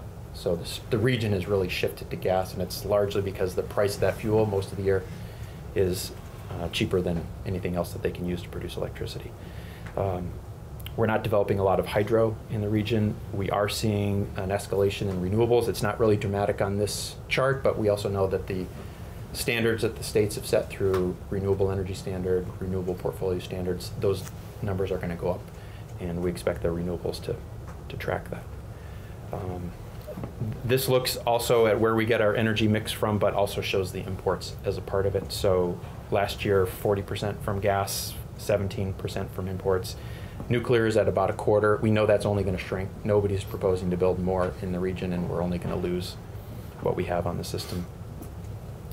Um, th- This chart shows the volatility that we see at the wholesale level for natural gas uh, fuel prices and the electricity prices. So anytime there's a physical constraint on the system, gas prices go up. We saw this as far back as the 2015 when the hurricanes hit the Gulf. Lots of infrastructure got wiped out. A lot of price volatility. As soon as that infrastructure came back, prices settled down. Um, those are pretty volatile prices for New England, but we've seen in uh, recent years that the physical constraints in the pipelines in the wintertime have driven lots of volatility. And you saw that to some extent in the annual numbers, but you can see on this chart, you know, the three years around 2012 through 2015, we had really cold winters, lots of volatility in the wholesale market for price. Warm winter period, things settle down. And then last year we saw uh, really cold temperatures in this time frame, and that drove up prices, which really influenced the wholesale price for um, the retail price for the next round of bidding. Um, We talked about some retirement, so this is an illustration that we're moving really toward a hybrid grid, away from uh, building uh, conventional generation to more renewable generation. Uh, Some of that renewable is offshore, very large wind farms that are proposed, uh, but a lot of it is distributed, tied into the distribution system, and uh, largely with solar PV. Um, So that shift is happening now and, and, and pretty rapidly. I mentioned the retirements. We've seen about 5,000 megawatts of resources retire, and we have another 5,000 that we would say are at risk for retirement. If you think about a coal or an oil plant that only produces about 1% of the region's electricity, um, their utilization rate is so low on the grid, it's just hard for them to keep operational. Think about a manufacturer that's only producing 1% of the, the system's uh, demand for energy. It's kind of hard for them to stay in business. Um, with this transition from resources burning coal and oil to natural gas, we've seen a big shift in the emissions. So by a couple of measures, uh, NOx, SOx, and CO2 emissions have dropped pretty dramatically. Um, that's looking at a calendar year basis. For uh, SOx, it's 98% reduction since 2001, and that's really because we're not burning as much coal in the region. Uh, the emissions do tend to spike in the winter when there's a lot of cold weather, so those coal and oil plants that are still around, they haven't retired yet, they tend to run during a cold snap, and the emissions profile for the region does change, but most of the rest of the year, they're not operating. Um, another thing that's driving the change in the resource mix, each state in New England in some form has adopted a goal to reduce greenhouse gas emissions. And the targets are in the 80% range. That's below the 1990 levels, and the time frame for that is the year 2050. Um, the northern New England states have adopted goals that we would say are aspirational. Uh, the southern New England states have adopted goals that are backed up by the legislative mandate, and there's a strategy in place to get to that. So this is just reporting what we see for the region, but obviously um, legislators are directly in control of this level of policymaking for Vermont and the other states. Uh, there's a question about the uh, interconnection queue. So this on the left-hand side shows the resource mix. Uh, wind, over 13,000 megawatts proposed for the region. Uh, that's overtaken natural gas, which used to be the primary resource, but a lot of the activity by Connecticut, Massachusetts, and Rhode Island to procure offshore wind is driving developers to apply to, ne- to connect to the system. Uh, we're seeing solar on a grid scale show up. Uh, we're seeing battery storage. If we, the last time we were up here, maybe two years ago, I think we talked about 50 to 100 megawatts of battery storage connecting to the grid. Now that number is over a thousand, and it's out of date every time we print it. There's lots of activity for uh, energy storage. Um, uh, fuel cells have shown up as well. That's a technology that's we're seeing in Connecticut specifically. So, so then you can see for Vermont about 200 megawatts of what's uh, proposed for the system. Battery storage, is, is that literally batteries, or is that other forms of storage? It's typically electric uh, storage in the form of a battery. Yeah. So not, I know pumped hydro, there's not, there's no little pumped hydro storage Right. happening, but would that be included in battery storage? Uh, that would probably we would probably treat that in a different category. Uh, Um, we we've seen some uprates to the existing pump storage hydro facilities. They can wring out some more efficiency and get a few more megawatts. That would show up in the queue, but we haven't seen any proposals for many years to develop more pump storage hydro. Uh, Renewables are clearly on the rise. Uh, Each of the states, as we mentioned, has some form of target for renewable energy. Uh, This chart uh, shows Vermont is sort of embedded because it blows the scale. In Vermont, you think of uh, large-scale hydro as a renewable resource. It Doesn't really match up with the other states' version of uh, renewable portfolio standards, but directionally, all the states, you know, are seeking more renewable energy in time. And if you think back, 2018, the numbers didn't look a lot different from the year 2000, but as you move forward to 2025, 30, 40, we expect our system's going to be a lot more renewable in terms of the makeup of the, the grid. Um, uh, trending wise, energy efficiency, the states as a region are spending over a billion dollars a year, and that's all collected through retail uh, uh, charges and supporting energy efficiency measures for residents, consumers, uh, business, um, commercial, and industrial. Solar PV, which was about 40 megawatts a couple years ago, uh, through the end of last year is over 2,000, and we're expecting almost 6,000 megawatts of solar PV on the grid by the end of the next decade. So, very fast-growing resource in the region. And uh, wind, about 1,000 megawatts is developed. Big shift in the thinking around wind. It used to be the expectation it would be in uh, northern Maine, um, but the states have looked at offshore as well, and that really has sort of overtaken the uh, the development. And you've got these slides, so I'm just going to cruise a little bit deeper into the presentation. When we think about uh, what's happening with solar as it affects the grid, much of the solar that's interconnected is not tied into the transmission network. So the grid operator can't see it. Unless there's a really large solar farm that isn't serving a customer, um, those would connect to the transmission system. We're starting to see some of that, uh, but most of it is rooftop solar or smaller arrays. So the challenge for us is figuring out, okay, what's the load going to do in the region when there's all these resources on the other side of the meter that are not visible to us? So we've developed a lot of forecasting capability. And this is a pretty dramatic example, real world from last April.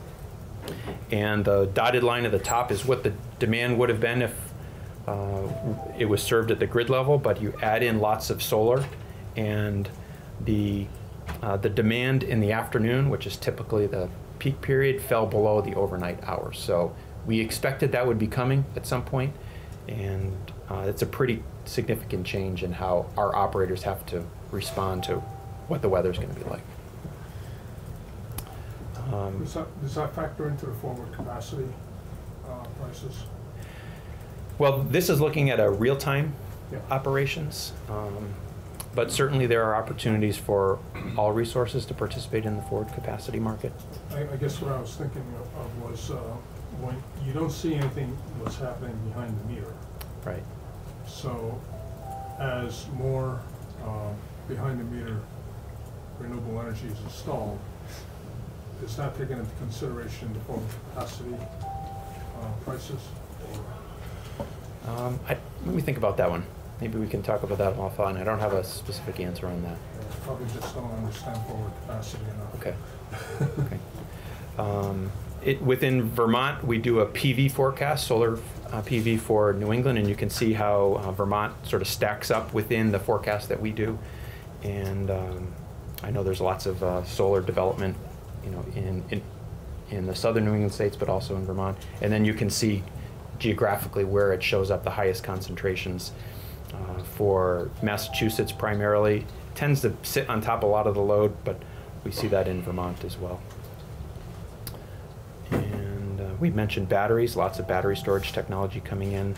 Uh, uh, this is not a new chart. We've talked about this in the past. In addition to power plants that want to get developed in the region, lots of interest in developing resources in uh, eastern Canada with transmission to deliver that into the New England market. So these are not specific projects, but directionally, we have uh, lots of interest in doing this.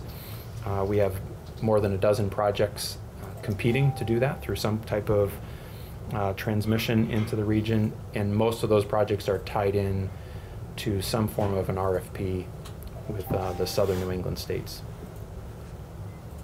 And I'll just wrap up with a couple of ways that folks in Vermont can and are engaged. We have a consumer liaison group, which was established uh, about almost a decade ago, and it's an opportunity to provide a non-technical forum for discussion about uh, regional issues. The consumer advocates in the region, the PUCs, uh, are all involved in that.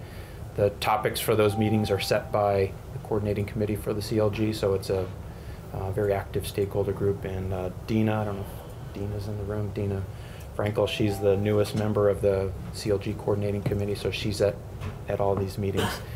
Um, we have a report coming out for the CLG, and then I mentioned the regional system plan meeting in Boston. That's going to be September 12. And uh, Molly is a, a regular participant at the Vermont System Planning Committee meeting, sharing updates on what's happening in the region, and then taking back what uh, Vermont is putting forward as priority, so our team back in Holyoke can kind of build that into our planning as well. So um, we've also got some uh, profiles, which are a snapshot of uh, the New England system. And then I didn't tell you about this at the beginning because you would stop listening to me and download it on your phone. But we have a, an app which gives you the real-time pricing for the New England region, for each state in the region. You can see what the fuel mix is. Well played. And uh, so I'll, I'll leave you with, with the app. That's usually more popular than just about anything except the control room tour.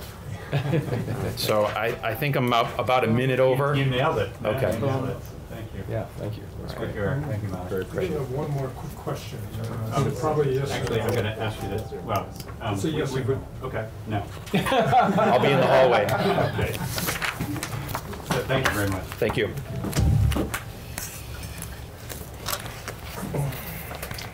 Wow. You guys are all set. Okay.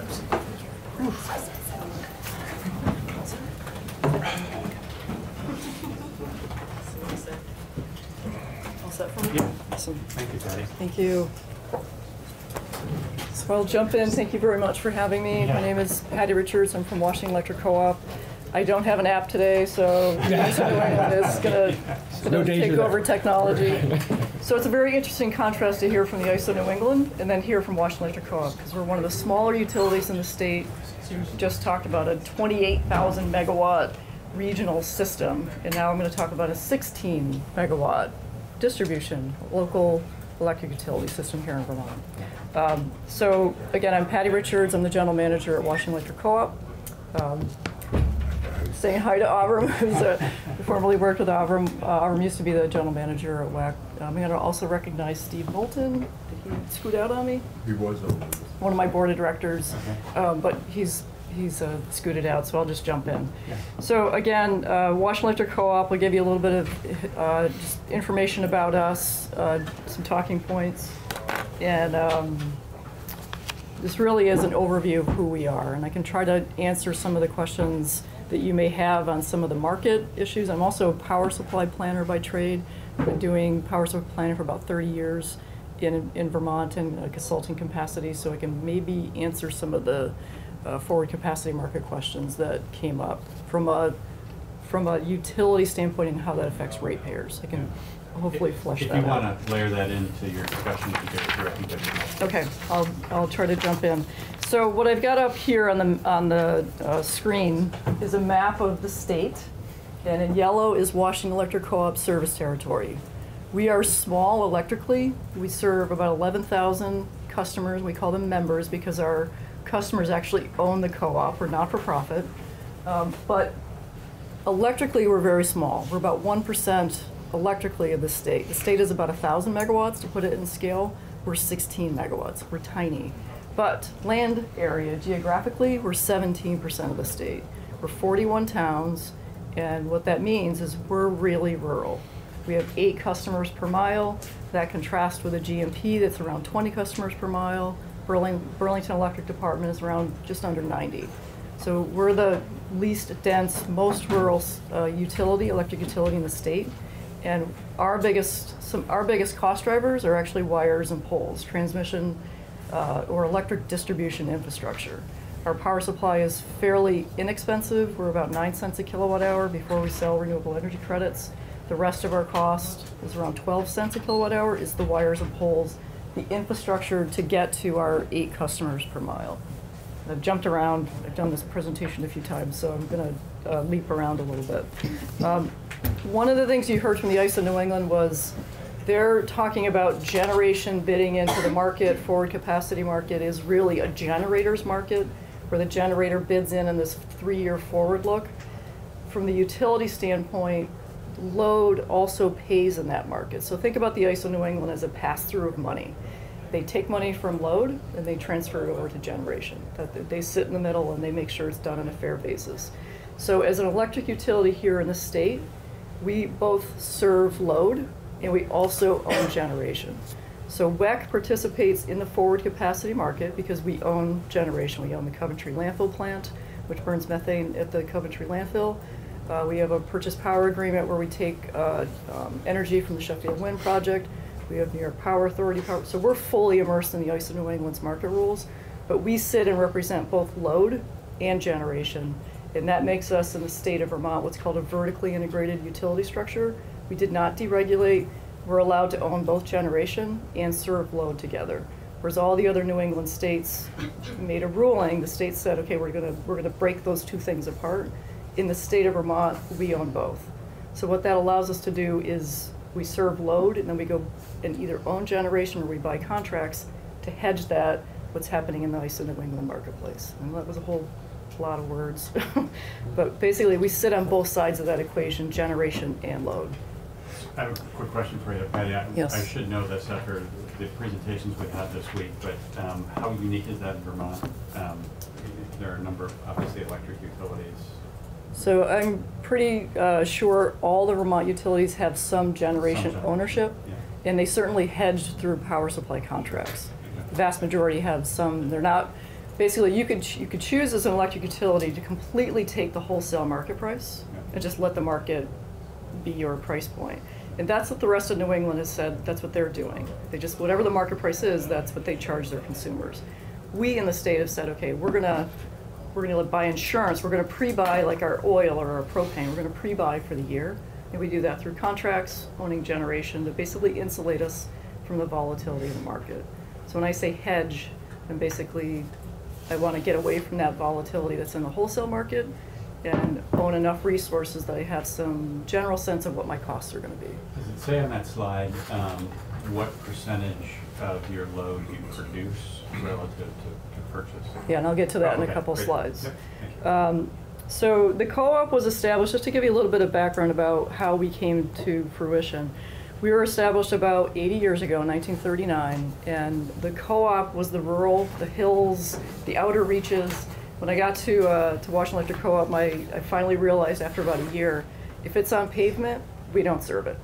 We're, we're really the back, we're the r- most rural area you can possibly find, and some of the places where people live, I'm like, wow. But we bring electricity out there. Um, And the, the, the reason I bring that up is the co-op was established because the investor-owned utilities at the time said that's too expensive to go get. So the co-ops came to be by um, federal act to say, okay, we want to get electricity out to these rural areas. Let's lend them low-interest money and get electricity out to the rural areas. So that's how we came into, uh, to be. Um, Um, Patty, that, um, there's a, you know, there's a telephone mandate to serve a a customer. Is there an electrical mandate to offer electrical service to every Yes, resident? Yes. Anybody that locates in our service territory, Mhm. we are required to offer electricity to them. It's part of the monopoly. The trade-off to being a monopoly is we have a chunk of customers that we get to serve, but also if somebody locates, we have to serve them. We can't say, oh, exactly, you're too far up that hill, we're not gonna serve you. It's an obligation we have to serve. It's a nice trade-off. So I summarized how we are electrically sized, very small. We're one percent of the state, but towns were seventeen percent of the state's land mass. Um, in our profile, we're, we're very different than many of the other utilities. Our profile of customers is ninety-six percent residential. So we're very homogeneous. We don't have a commercial industrial load that we can kind of bank on and like shift rates and costs to. We're very much focused on the residential profile. I don't know if that, does that make sense? Very much uh, residential, bedroom communities, people driving out of our 41 towns and driving somewhere else to go to work. Um, we are uh, run by a nine-member board of directors, and the board of directors are all customers, members of the co-op.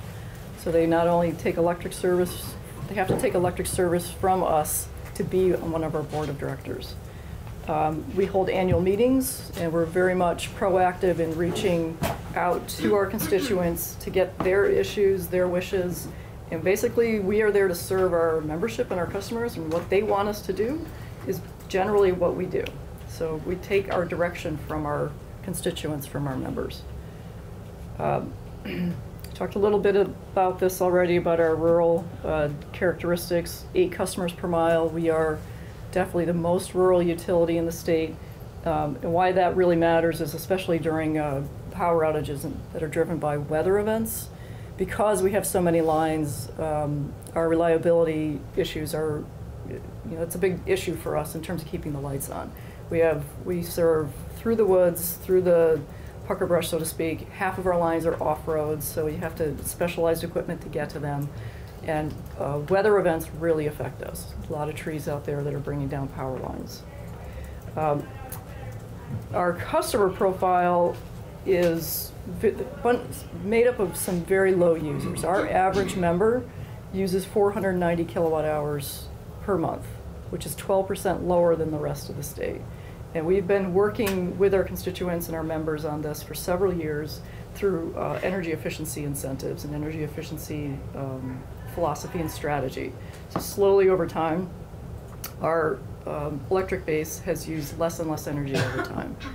Again, through weatherization, energy efficiency, and those kind of programs. A little bit about WEC in terms of the power supply side. So WEC is 100% renewable. We've been 100% renewable for several years. And our biggest asset is the Coventry landfill plant, which produces about two-thirds of our energy mix, and I'll show you a chart on that in a second. Uh, Coventry burns uh, methane gas that is a, a gentle vacuum that's taken off the landfill at Coventry to extract the methane gas. And we burn it in Caterpillar engines. There's five Caterpillar, Caterpillar engines up there for about eight megawatts nameplate rating. And that plant is projected to run for the next 20, 30, potentially 40 years. There's significant gas up there that this is a long-term asset. We also have a small uh, one megawatt uh, hydro plant called Wrightsville, which is near, just north of here, Montpelier. Um, and that produces about two to three percent of our energy. We have a purchase power agreement in Sheffield Wind. And we have an, uh, power that we take from the small Vermont independent power producers. They're generally hydro plants. But the reason I call these particular resources out is you'll see the density of our power supply and how local it is, meaning it's in Vermont. The vast majority of our energy is not only renewable, but it's also Vermont-based. And the beauty of that is the dollars that we're spending trickle through the economy with the multiplier effect and really give a boost to the Vermont economy. Um, in terms of net metering, um, WEC early on was a, a significant leader in net metering. Back in 2014, when net metering was just starting to really pick up pace, WEC was at 11% of its peak in 2014. We far exceeded uh, uh, statutory uh, mandates, um, but that since then the cap has been lift, lifted. We are now at 3.5 megawatts of solar installed in our system, and that is 22% of our peak. And to put that in context of energy, just did some math over here on the side. It is, um, a second. You lost the map. That was my math, I wrote it down. I want to say it's six percent. So about four thousand megawatt hours, which equates to about six percent of our, of our uh, retail load. So it's significant. So three point five megawatts to Washington Electric Co-op relative to a sixteen megawatt scale. It's really, that's starting to really show up. It's, uh, WEC has, given our rural nature, people have the ability to put solar because they, there's many fields, many open spaces and solar. Um, the impact of solar in our service territory has been very robust, or the pace, I should say. Uh, Washington Electric Co-op is also an, an early adopter of energy efficiency. And we continue to emphasize that today in all of our programs. And in fact, in the Tier 3 uh, program, which is part of Act 56, is, which is the renewable energy standard that was passed in 2015, WEC's, Washington Electric Co-op's emphasis in that program is weatherization. Many of the other utilities are doing uh, slightly different things. Our primary focus is to encourage people to weatherize their house and make it as tight as possible, and then look at your fuel use to make sure that you're using and minimizing that, that, um, that, um, how you're using it, whether it's electricity, heating oil, propane, you want to minimize that carbon footprint. So our real focus in tier three is weatherization. And in terms of our, what our power supply mix looks like, this is a uh, chart, it's a long-term chart for 20 years showing you uh, where our power comes from and also where our load level is. Black line at the top represents Washington Electric Co-op's energy load for all the constituents, 11,000 members that we serve electricity. So the black, black line is our target of what we have to serve, and all the colors are the resources, the generation power supply contracts that we secure, we have secured, purchased, owned to serve that load. So instead of being uh, open in the wholesale market and exposed to the volatility, we're essentially hedged based on this resource mix. And the reason I put 20 years out um, in terms of a chart is to show you that we're 100% renewable today, but we're also 100% renewable for 20 years looking forward. So we, WEC is unusual in that we don't have a yawning gap. We don't have a supply mix that we have to replace. We've made investments, long-term investments for the foreseeable future for our, for our, uh, for all the customers that use electricity at Washington Electric Co-op. And I'll pause there. Is it typical for a utility to, to have more, you're planning for more resources than load? I, I don't understand the, you know, where you want to be around the, the black line of, of what your load is. Generally, from a power planning position, I want to be slightly less. I, I w- I don't mind buying a little bit from the market, Yeah. but our purchase, uh, purchase decisions in the past have us essentially full up for the foreseeable future. And we're actually, even though this looks like we have a lot of excess, it's actually, some months we're short, some months we're long over the course of the year. We have a little bit more than what we have for load. So we're just slightly more hedged. And a lot of it is we can't necessarily say exactly how much our resources are gonna produce because it depends on the wind, it depends on the hydro mix at the time, or the hydro flows at the time. Um, in Coventry, the Coventry plant is increasing production, so we're seeing some more electricity being produced there. Go ahead, Mark. Yeah. Um, On your purchases from the Sheffield Wind project, uh, are they projected to be producing out 25 years? So the Sheffield Wind Project will, as long as there's wind, there'll be, the the turbines will be spinning. And the turbine life is, I haven't been in the space for a while in terms of building a, a wind project, but the turbine life is anywhere from 25 to 30 years, so long-term Sheffield will be there. In the event, event there's blade degradation, they will replace components. It's my assumption of the owners of the Sheffield wind facility. We buy a power contract from the owners, we don't own the facility. Right. But they likely, very likely would replace components to continue the operation of the facility. The large square going to be part of your chart. Uh, Is that Coventry? That's or is that- Coventry. Oh, that's Coventry, not GMP. Yeah, no, it's all, we- we don't purchase power from GMP. Okay. So let me, let me give you a, a, a one-year drill in as to where the power comes from. So that shows you over twenty years, we're full up, we've got our resources, we've made our investments, we've, we've incurred debt, we've built projects, we're good for the foreseeable future. This pie chart gives you a snapshot of where that power comes from on an annual basis. And, uh, the big maroon section, that's the Coventry uh, methane burning plant up in Coventry, Vermont, that extracts the methane off the landfill. Two-thirds of our power mix, that's by far the big elephant in the room for us. The next biggest resource is from Sheffield Wind. We get about roughly 11% of our energy in the past year came from Sheffield Wind. We get some power that comes from New York Power Authority. It's called NYPA Power. This is a very low uh, uh, cost energy block for us. It's really cheap. We want to make sure that power continues to flow for us. And again, that's hydro-based. And all the other resources are smaller hydro, in-state hydro um, from the independent power producers, which I call VEPI. Um, we have the Ryegate facility is a wood burning plant in Ryegate, Vermont. We get a small chunk of that. It's about two percent of our mix. And then in 2017, we had two percent market purchases, a very nominal amount. Quick question on Coventry. Um, eh, The plans to expand the landfill or something with the landfill, is that affecting your planning yet, or is that, Um, so the gas that's at the plant, or at the landfill now, is? would be is- sufficient to carry us for the 20-plus years. So the models that we're looking at for the content of the methane, there's sufficient uh, methane for us to continue to operate. The expansion will help us operate the plant and maximize, maximize the generation. So from a, from a uh, standpoint of Washington Electric Co-op, we're definitely tied with the expansion, and we want to see the landfill operate in a responsible manner. We're concerned about the environment.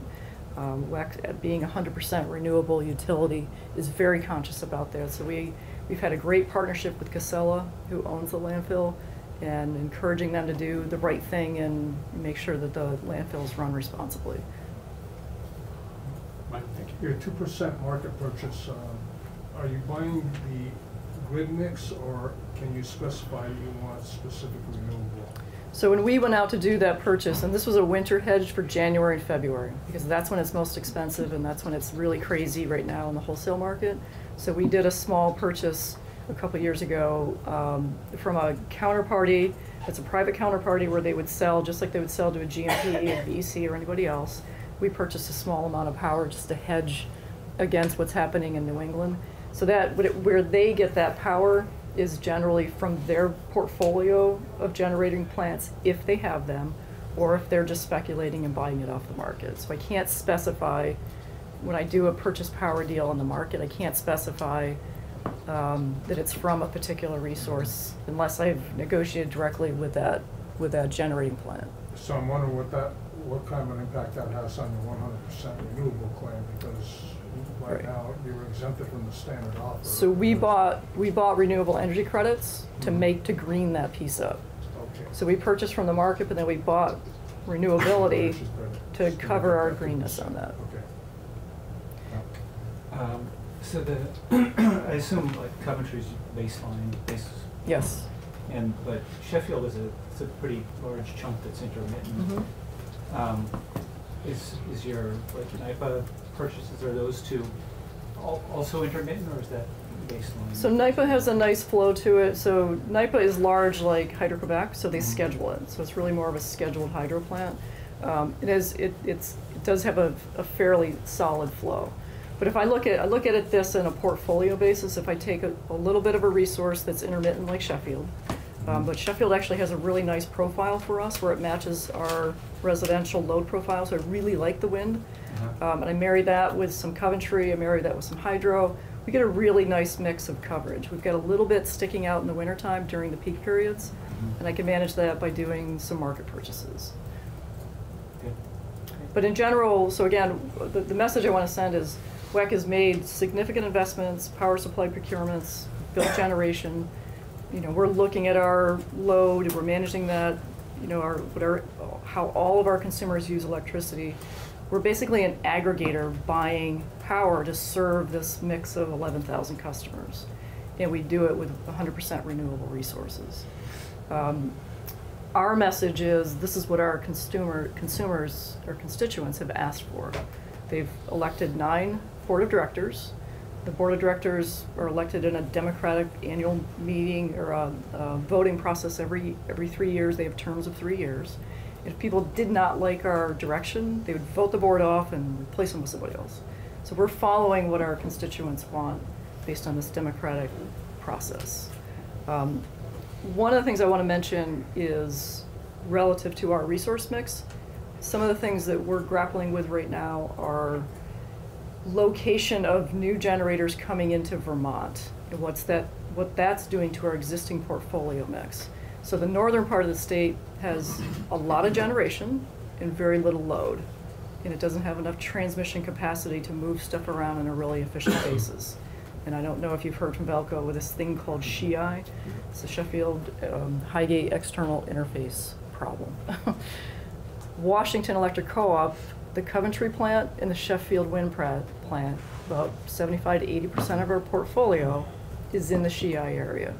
So we're seeing the Sheffield plant, we're, we're seeing financial impacts from new generators building in this area, impacting existing generators that have already made financial decisions and have already constructed. So we're, we're definitely squarely in that space with the SHEI issues, but we would really like to see that solved.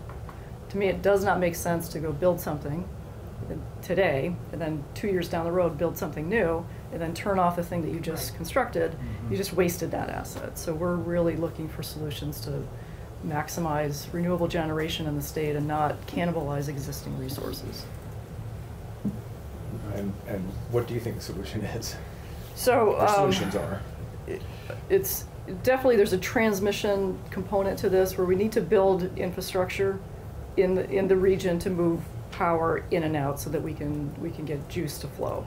At the same time, it's important for you all as lawmakers to understand it's great to pass new laws and new legislation to incentivize solar being developed, renewables being developed, but there can be consequences that you know, I, I sat through many meetings where people said, oh, this is going to lower transmission costs, this is going to um, help reduce losses, we're going to see, uh, you know, infrastructure is going to be able to handle all this.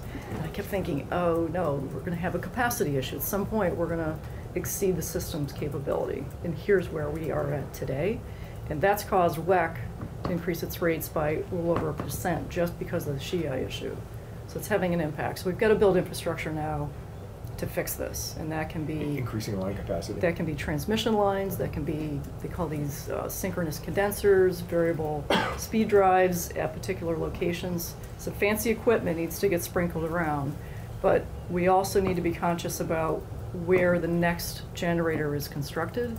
Because if we fix it today for the current problem, then we plop down another 30 megawatt solar project or, you know, even if it was a 50 megawatt natural gas plant or something, it's going to eat up that capacity. So one of the things we talked about was forward capacity market. I'm going to try to answer the question that was raised earlier. So on the load side, load pays. So we pay for all that, those billions of dollars to be transferred over to generators. So I'm concerned about the forward capacity market price that's set three years forward because the load side pays.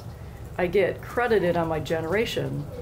So I get, if the Coventry plant gets paid, so it's almost like I'm taking money from this pocket and I'm putting it in the other. But if I, if, if I have enough capacity resources and generators, I can cover my load obligation. Um, but what's happening right now, so for Washington Electric Co-op, we're short a little bit on the capacity side. So the price point, when it's, when it pops like that, it translates into rate pressure for Washington Electric Co-op because we, we're a little bit short on the capacity side. So if I'm a generator and I see a high price point, that sends to the market, it's a price signal to say, build generation. We want to, we want you to build generation. So three years in advance, they say, you're going to get paid nine dollars, you know, a kilowatt month. That tells the marketplace to go build generation. And then once you build that generation, then the price generally comes back down and floats down and kind of settles down. Does it overcorrect um, with that, I mean, is, is there volatility because of the, the um, uh, capacity comes online in chunks? It doesn't Yes, come on exactly. in small streams. Right. So I I would imagine that would drive It's- volatility. It's that. very lumpy.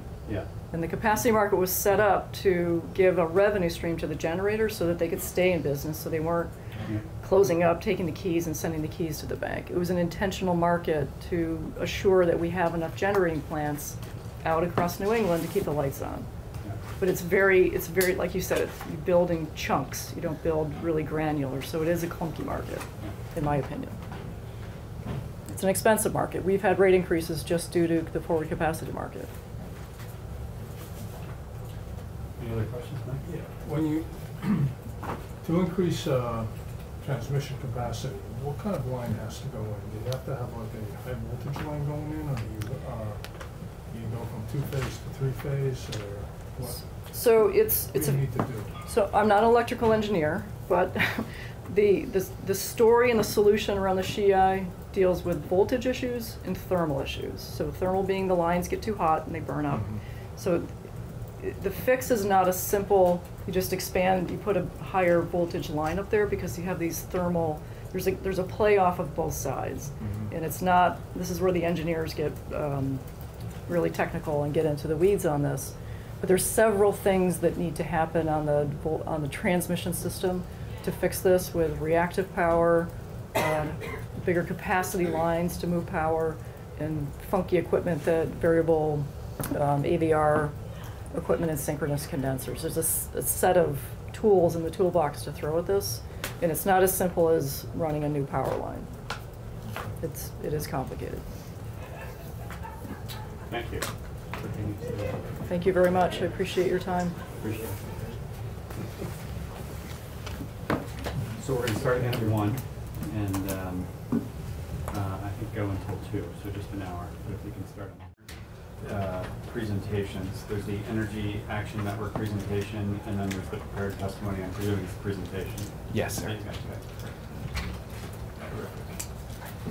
okay. Um, so I'm gonna start us up here, uh, just to keep you guys on time and, and us as well. Um, welcome, and, uh, my understanding is that, uh, you're gonna take about, uh, forty minutes for your presentation. That would be great. Uh, Mr. Hughes will take, uh, another, uh, twenty minutes or so after that. So I'm just gonna turn it over to you, and, uh, uh, thank you for joining us. Thank you, Mr. Chairman and members of the committee. Very glad to be with you today. Um, uh, I uh, serve as the executive director of the Energy Action Network, um, which I'll speak more about briefly. Um, I know some of you and folks around the room from my previous uh, role working for the Agency of Commerce and Community Development. where I served as Economic Development Director, responsible for business support and workforce development in our green economy and working lands sectors um, around the state. Um, but I uh, have served with Energy Action Network for the last two years, and I want to tell you a little bit more about that, our network and our model. Um, but mostly, I want to focus on uh, Vermont's energy uh, emissions commitments and our goals for our economy um, and where we currently stand and the scale and pace of progress that would be necessary to meet those energy and emissions commitments in a way that would improve the Vermont economy. Um, so if you don't mind, I will um, stand up. Uh, first, the Energy Action Network is a diverse network of over 200 members across Vermont, nonprofit organizations, businesses, educational institutions, finance institutions, really uh, a, a wide variety uh, politically, uh, business-wise, every everyone from the Lake Champlain Chamber of Commerce to Green Mountain Power to Bourne's Energy to Vermont Technical College. Um, and we all share one common mission, which is the same as the state of Vermont, which is to meet uh, the state's 90% renewable by 2050 uh, goals, total energy goals, um, and also to significantly reduce emissions. Um, it's important to state up front that Energy Action, a- as a network, we have a small backbone organization that supports those 200 plus members in multiple ways. Um, one thing we commit to do is we do not do any lobbying or policy advocacy. We serve as a trusted, objective tracker of state progress. We work with state partners like the Department of Public Service, uh, Agency of Natural Resources, VTrans, to uh, gather total energy and emissions data and share that with the network and across uh, Vermont. Um, so that benefits our networks, but it also benefits the state. And so if there's ever any way that I can be helpful beyond this presentation as a resource, please do not hesitate uh, to let me know. Um, but the the main uh, so the main story in terms of our energy goals um, that you are all familiar with 90% renewable by 2050 across all energy sectors is that as of last year, uh, Vermont was about 20% renewable. The first milestone of the comprehensive energy plan is 25% renewable, and we have a chance to meet that. However, almost all of this progress to get to this point has come from the increasing renewability of our electric sector and policies the legislature has, has passed from net metering to standard offer to the renewable energy standard. What will what is holding us back from further progress and what will be necessary to bend this curve upward is to make our transportation and our thermal sectors uh, more renewable, which are by far the most fossil fuel dependent and high uh, emitting. So these pie charts break down Vermont's total energy use by sector. Um, uh, so you can see that overall, this is Vermont's energy use, 142 trillion BTUs, common, uh, use a common energy uh, unit. Um, these numbers are actually as of last year, so they're a little bit dated. Uh, Energy Action Network every year comes out with an annual progress report for Vermont that will be released in about a month. If any of you want to pencil or type some notes in, I can give you the most updated numbers, um, which are that transportation went up from being 35% of our total energy to 44% of our total energy. Um, some of this is an accounting change uh, that from the department based on switching over to the renewable energy standard and rec accounting, which I can talk about. Um, thermal energy makes up 42% of our energy use. So together, those two sectors are 86% of our energy use. And electric is now 14% of our energy use. I should just quickly say, and we can get into it in more detail if folks want, that the, the department previously had measured electricity, and we follow their lead because we want to be tracking for the state and in full compliance with them. They had previously measured electricity as a source energy figure, so not just the energy that was consumed on site at the house uh, or at the building, um, but also all of the energy that went into bringing that electricity here, the transmission and distribution. We felt they felt that it was important to capture that energy that was used to bring that electricity to Vermont in the overall electric figure. And they were using end use or site energy figures for thermal and transportation. My understanding is to be consistent across all, and because of the requirements of REC accounting or renewable energy credit accounting, uh, in compliance with the renewable energy standard, they're using site energy across all three sectors now to be consistent. And so that's where you get the 44% of our energy from in transportation, 42% in thermal, and only 14% in our electric sector. Is there any way to um, kind of backtrack and make it an apples to apples comparison, at least for one year, to be able to see? Yeah, that's our- what we're doing in this year's report, Okay. so I'm sorry, this slide Yeah, doesn't sure. have it, but Yeah. we'll have it momentarily. Super. And I can also update you on the share of that energy use that's renewable as of now. So um, electricity is now 63% renewable. The first target um, of the renewable energy standard was 55% renewable. The utilities have exceeded that, and our electricity is now 63% renewable post-rec accounting. Our thermal sector has gone down in its renewability because of increasing fossil fuel use. It's now 19% renewable. And our transportation sector is still stuck at only 5% renewable. And even that figure is um, it's mostly ethanol, which has dubious uh, life cycle emissions uh, problems. Um, so that's energy. But of course, the energy conversation is also a climate conversation because over uh, 80% of our uh, emissions come from our energy use across these sectors. And you can see um, that you know, this is data from the Agency of Natural Resources, their emissions inventory. Uh, 43% of our emissions come from transportation, 28% from building thermal, um, and only 10% from electric generation. Uh, so it's, it's clear that both to meet 90% by 2050, our renewable energy goals, and to meet any of the state's emissions goals, and there are multiple. The governor is committed to the Paris Climate Agreement, a 26 to 28% reduction below 2005 levels by 2025. The legislature has passed more ambitious statutory goals than that, but we are nowhere near on track to meet any of those commitments at, at this point. Um, as you can see from this slide, which shows that since 1990, Vermont's emissions have increased 16%. Uh, over the, la- the last year we have figures for is 2015. From 2013 to 2015, our emissions increased 10%. And again, that was because of increasing use in the primarily the heating and the tra- transportation sectors. Um, Can I uh, ask a quick question? Yes, sir. Clarification. Um, The, the two slides back, the proportion, or that one, either one of those. Yep. Um, So as load shifting happens, say Yes. in thermal, Yep. um, does the electrification of thermal get shifted over to electric? That's a great question. So the thermal still stays dirty, it just drops to a Yeah. lower percentage of the load? So what we have done is basically from the EIA data and the state data that we've had, we've subtracted any electric use that is from cold climate heat pumps and from electric vehicles um, and from heat pump water heaters and put them in their relevant. Uh, so what we will see over time is, you know, so this electricity is really just appliances, lighting, things like that, but not vehicles and not heating systems, which would be captured in those two pie charts.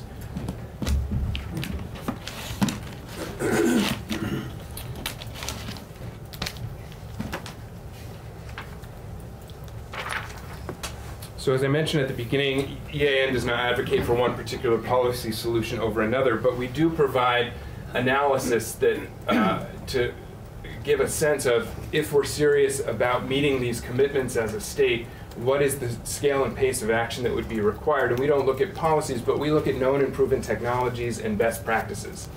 Um, and so, what are the technologies proven and available on the market today? And what are the uh, emissions reduction benefits we could get from further adoption of those? This is not meant to be prescriptive. We're not saying this is the way that Vermont has to do it. This is meant to be illustrative of, the, of what it would take. So, and we break it down by sector. So that would be, um, we're currently at about 2,800 vehi- electric vehicles in Vermont. For EVs, we count both full electric vehicles and partial hybrid electric vehicles, PHEVs.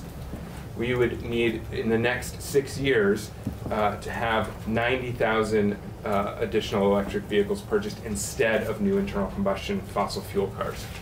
We, of the remaining fleet that's still internal combustion, we need to see an increase in that uh, fuel efficiency by 5%, and we would need to double transit, which is an all-inclusive figure, including uh, commuter patterns, bus, um, carpool, etc. On the so the single biggest driver we've identified is in electric vehicles. The single largest sector, sectoral opportunity is in, in thermal, and that's because there are so many options for how to move away from fossil fuel heating to renewable heating, from heat pump systems to advanced wood heat systems, through further weatherization and um, heat pump uh, water heaters. Um, and so if you add all those together, that becomes significant. And there's additional uh, gains that we can make in, in terms of emissions reduction from the electric sector as well. And then, of course, because energy is only 80% of our emissions, we reserve 20% to come from other sectors. This may be from agriculture, digesters, soil sequestration, and, and the like.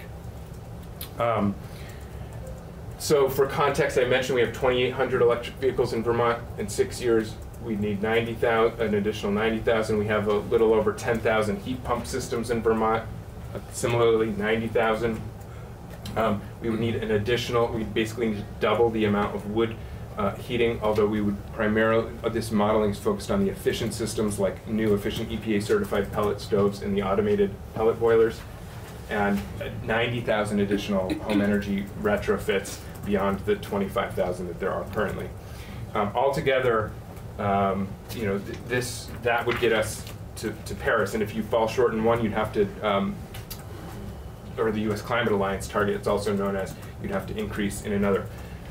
While these numbers may seem large, especially to relative to where we are today, they're certainly technologically possible. And I can just provide a little bit more context. There are 335,000 housing units in Vermont, uh, as per the U.S. Census.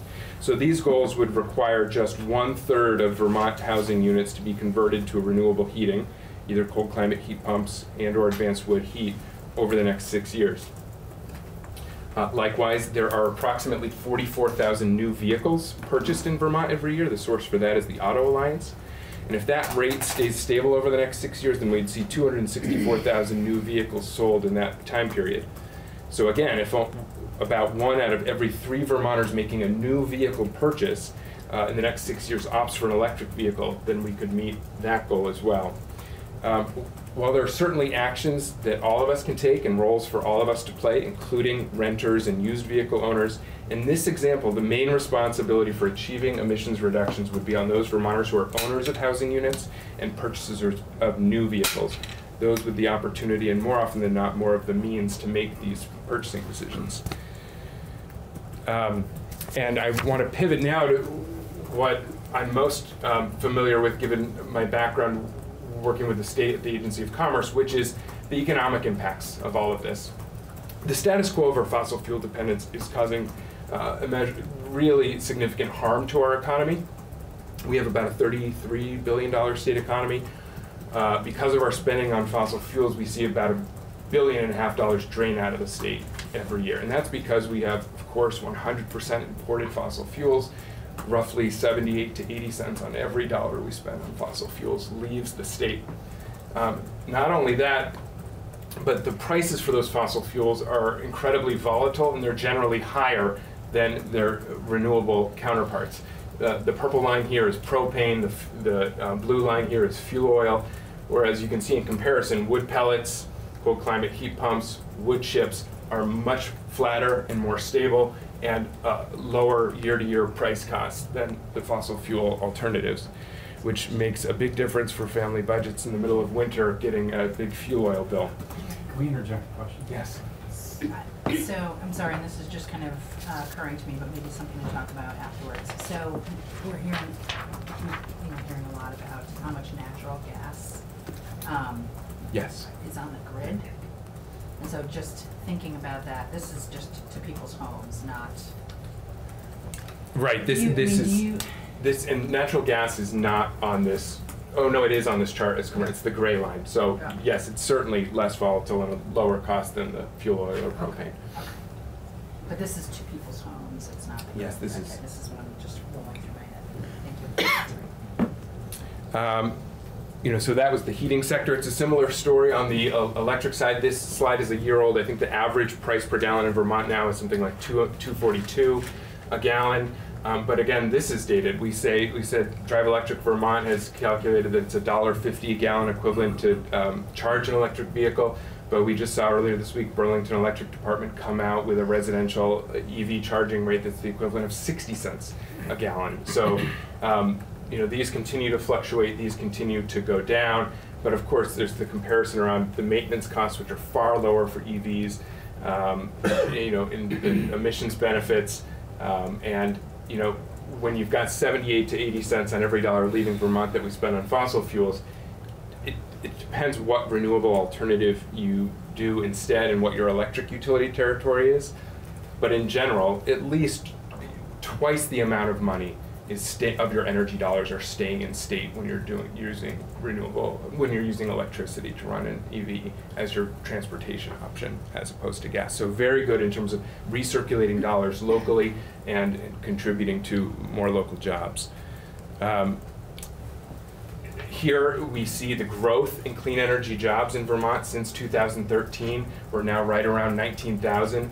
Vermont holds the distinction of having a higher share of its workforce employed, employed in clean energy than any state in the country, 6% of our employees. Um, most of that is in weatherization and efficiency.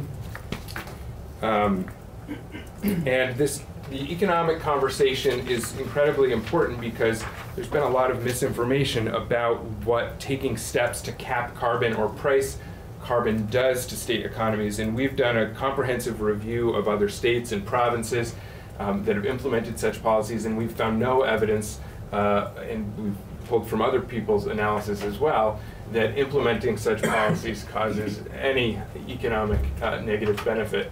Um, so you can see here, California is the only state in the US that has capped carbon economy-wide, uh, implemented the Western Climate Initiative in 2012. Their emission, they've been able to drive their emissions below 1990 levels. Again, in comparison to Vermont, we're 16% above 1990 levels. Meanwhile, they've had some of the fastest economic growth in the country. This is not to imply causation um, or that Cal Vermont's economy is anything similar to California's, but it is to say that there's not evidence out there that capping emissions or pricing carbon harms a state economy.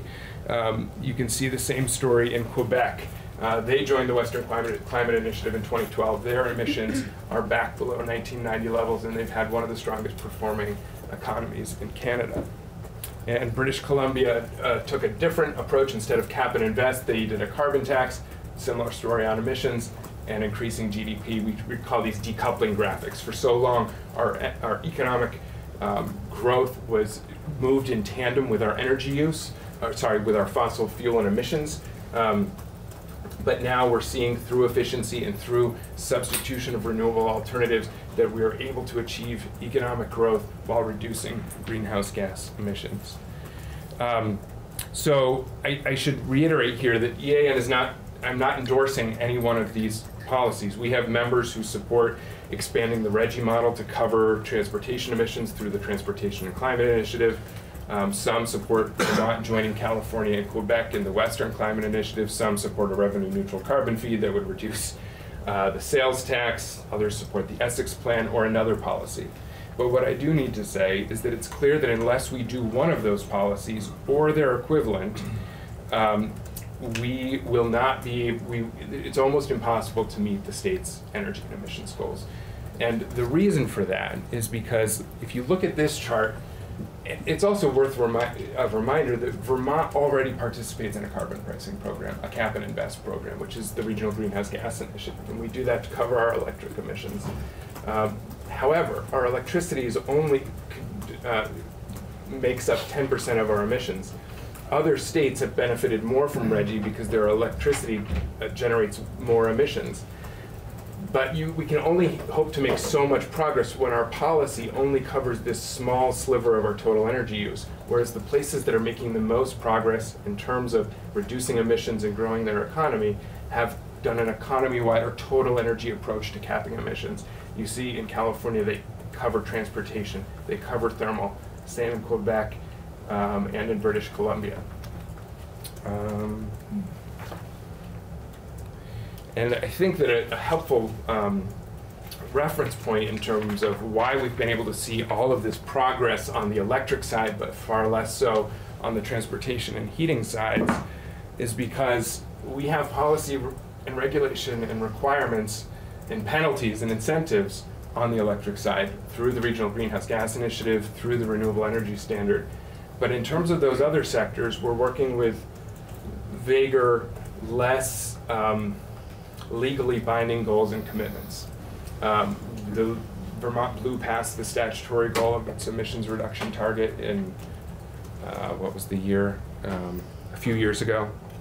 Um, and you know, even though Governor Scott strongly committed to staying in the Paris Agreement and joining the U.S. Climate Alliance when the president pulled out, um, we're n- nowhere near on a path to actually meet that commitment. And so, the clear evidence from across the country and across North America is that if you want to meet these goals, if you want to improve your economy, then you need to apply the policy and regulatory tools, including incentives and legally binding requirements to those other two sectors of our energy economy. Um, that's all I have prepared, but I am happy to, if we have time, I don't even know where we're at, I'm happy to take additional questions. You used half of it. Okay. I, I just have a general question, um, and this is going back to your, uh, I think one slide before. Um, and as a precursor to this question, we had a presentation this morning from, uh, uh, the folks at ISO New England. Yep. And there was something that they presented that I didn't actually, I hadn't even realized, that of the states that are in ISO New England, um, there are three states that have mandated greenhouse gas emission targets relative to Maine, New Hampshire, and Vermont, which have aspirational. Mhm. Um, so I'm curious, and, um, you know, given this is, I'm throwing this into the ether, but maybe you have an answer to it. Uh, I'm curious what Connecticut, Massachusetts, and Rhode Island are, you know, specifically doing to, um, you know, what are the penalties if they don't meet them? What are, you know, what are the very specific policy things that a mandated state does relative to an aspirational state? I know that none of those states have, um, uh, you know, a, uh, a carbon tax on transportation fuels, for example. And that kind of leads back to this slide, which is California clearly is, um, you know, looking at mandated, Mhm. um, uh, constraints on greenhouse gas emissions in particular sectors. We only have it on electricity. Yep. Um, and, you know, what is California doing in a mandated context to get to those mandated, uh, reductions? Yeah. So for the California example, they have set up a cap and invest system where they set a target of what their overall emissions they want to be, and then they um, set um, a certain number of allowances to basically pollute greenhouse gas emissions, and then they auction those off. Uh, I think the current price per ton is something like nineteen dollars uh, in the Western Climate Initiative, um, and uh, so then they, um, you know, they have that auction and th- that market-based mechanism for those um, rights to emit, but it's it's covered at where all of that energy is entering the state in each of those sectors. I'm less familiar with. Um, you know, I know Massachusetts has the Global Warming Solutions Act, which has a legally binding um, requirement um, that they meet their emissions reduction targets. I think this has been less of an issue for Vermont because our um, electricity sector was always so low carbon intensive, and we've never had a challenge meeting the RGGI targets. So it's really just been a net boon to us. I think $18.7 million has gone to Efficiency Vermont alone to enable them to help From Vermonters RGGI. from RGGI. Yeah. Um, but I think probably Tom uh, in the next presentation may have more information about Um, what some of the other states are doing. Great, yeah, that's fine.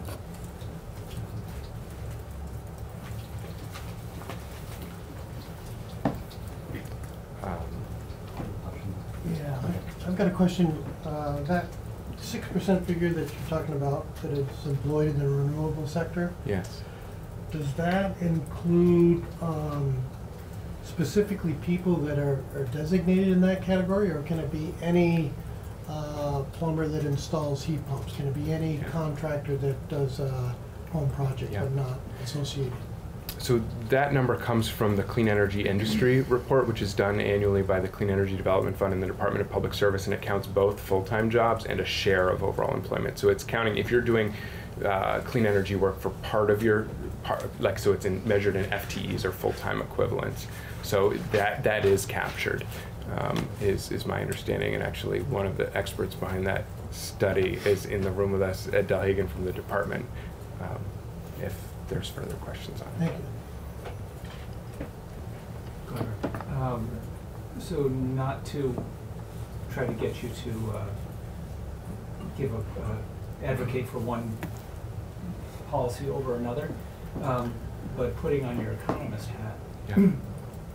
which. um, I only have a master's degree, not a PhD. You're a master's ahead of me. Um, What, what uh, non-pricing solutions give the best bang for the buck? Weatherization, electrification? I, th- I think that it can be problematic to distinguish between pricing and non-pricing policies.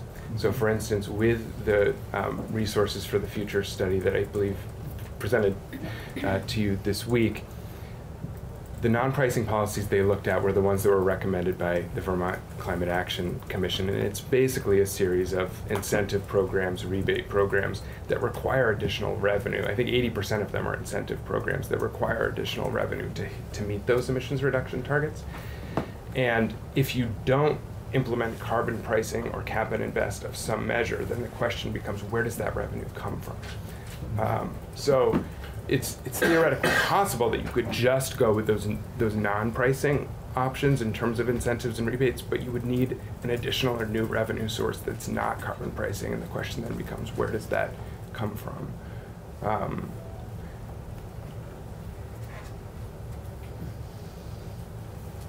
Um, Yeah. Uh, And I should be asking this of them rather than you, but I- um, they, I believe that they talked in pricing options, um, they talked about, a- in terms of driving behavior, a Yeah. tax being more effective than a gross receipts tax or a a excise tax or something, something that's visible. yeah. Well, t- they were saying tax actually instead of price. So if the, if if the price goes up because the commodity price goes up, then that's one thing, everybody kind of, kind of, you know, Right. adjusts to that. But if the tax goes up, people react. Well, That's what they an were excise tax is, causes the price to go up. You don't know why, it's. Oh, it's behind the scenes? Yeah. Yeah.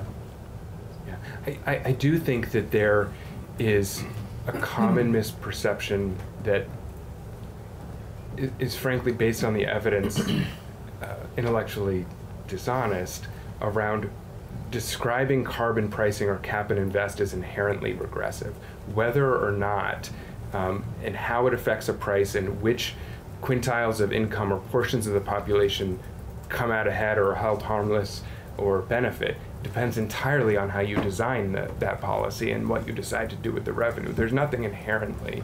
Uh, you could design a carbon pricing policy that harmed the economy or that harmed low income Vermonters, or you could design one. So it's all about those design questions of the policy of how does it get implemented and then what do you do with the the, the revenue. It's, it's entirely possible to make sure that rural and low-income Vermonters come out ahead in a cap and investor carbon pricing situation. It just comes down to the policy design.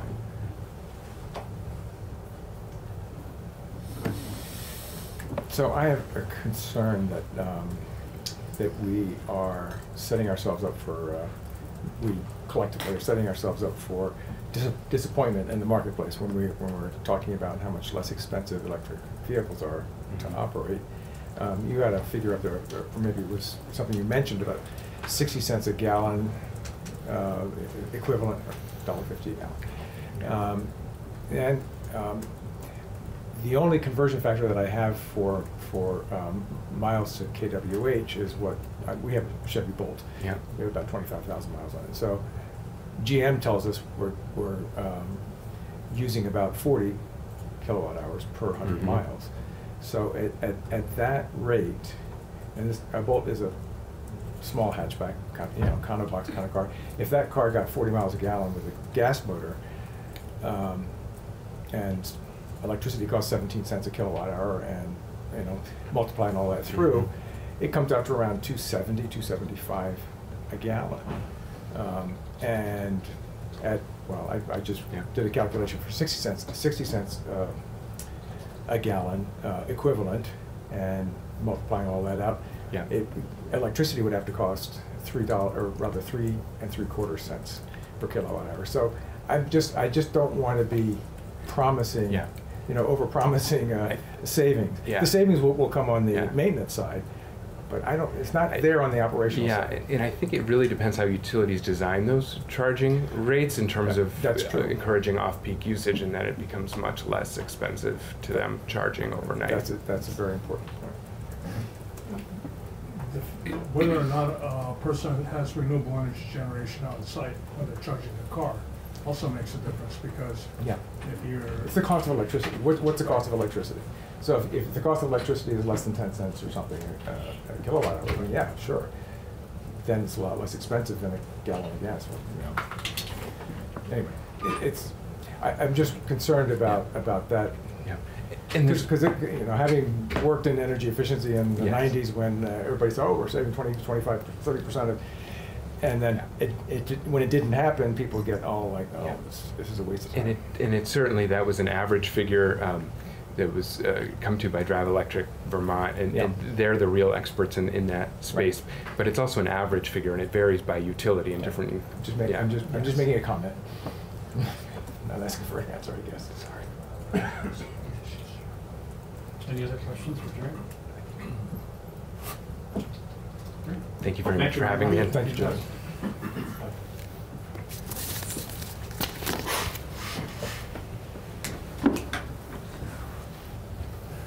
Trade you.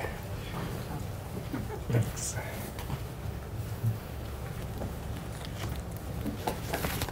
Welcome, Tom. Thank you so much. Yeah, thanks for joining us.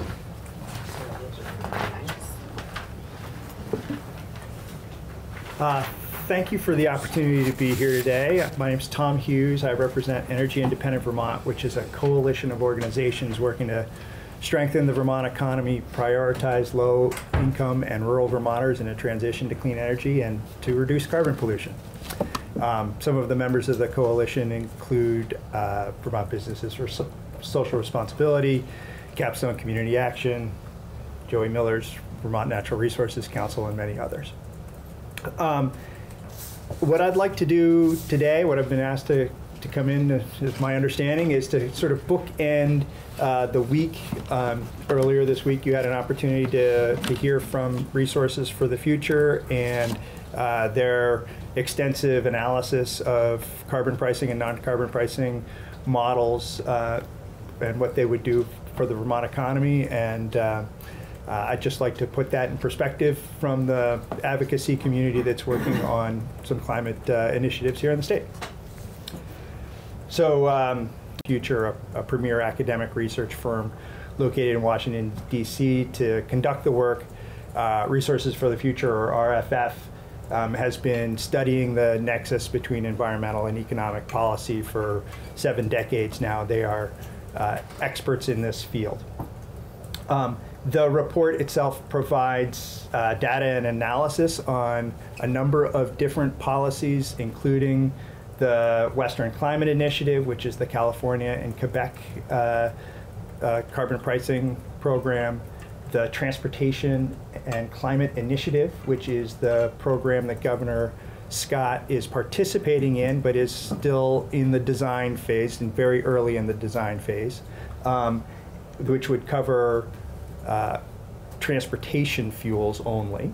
And then uh, the third policy, which they dove into, is uh, what's called the Economy Strengthening Strategic Energy Exchange, or Essex Plan, which was um, uh, a proposal developed by business leaders and low-income advocates in 2017 and was a policy that was uh, in legislation last year but didn't move um, uh, beyond the, the drafting phase.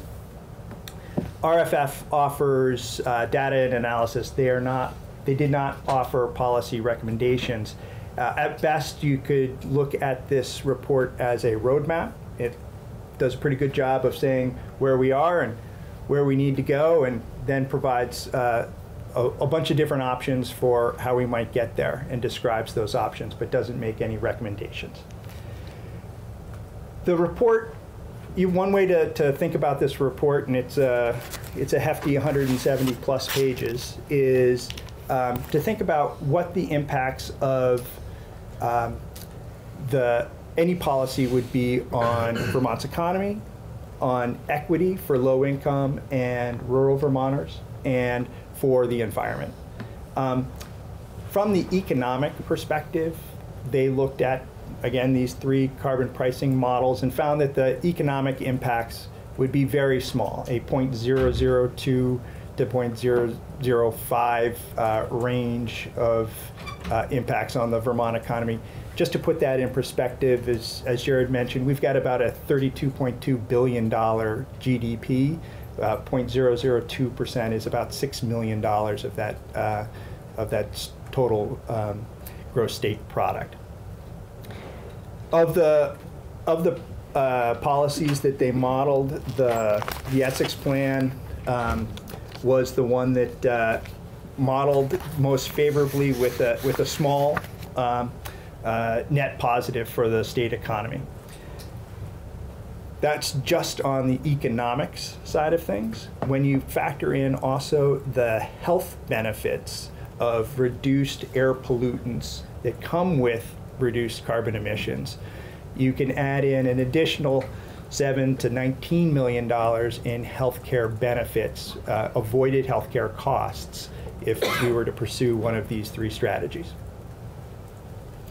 In terms of equity, one of the key findings from this report is that using carbon pricing revenues as, and then providing them, using the proceeds as rebates to Vermont households, again, as, as Jared described, designing the program to benefit uh, low income and rural Vermonters, a carbon pricing program can be highly progressive. Anywhere from 40 to 60% of Vermont households can come out ahead, and those households are the ones at the lowest two to three tiers of the economic ladder.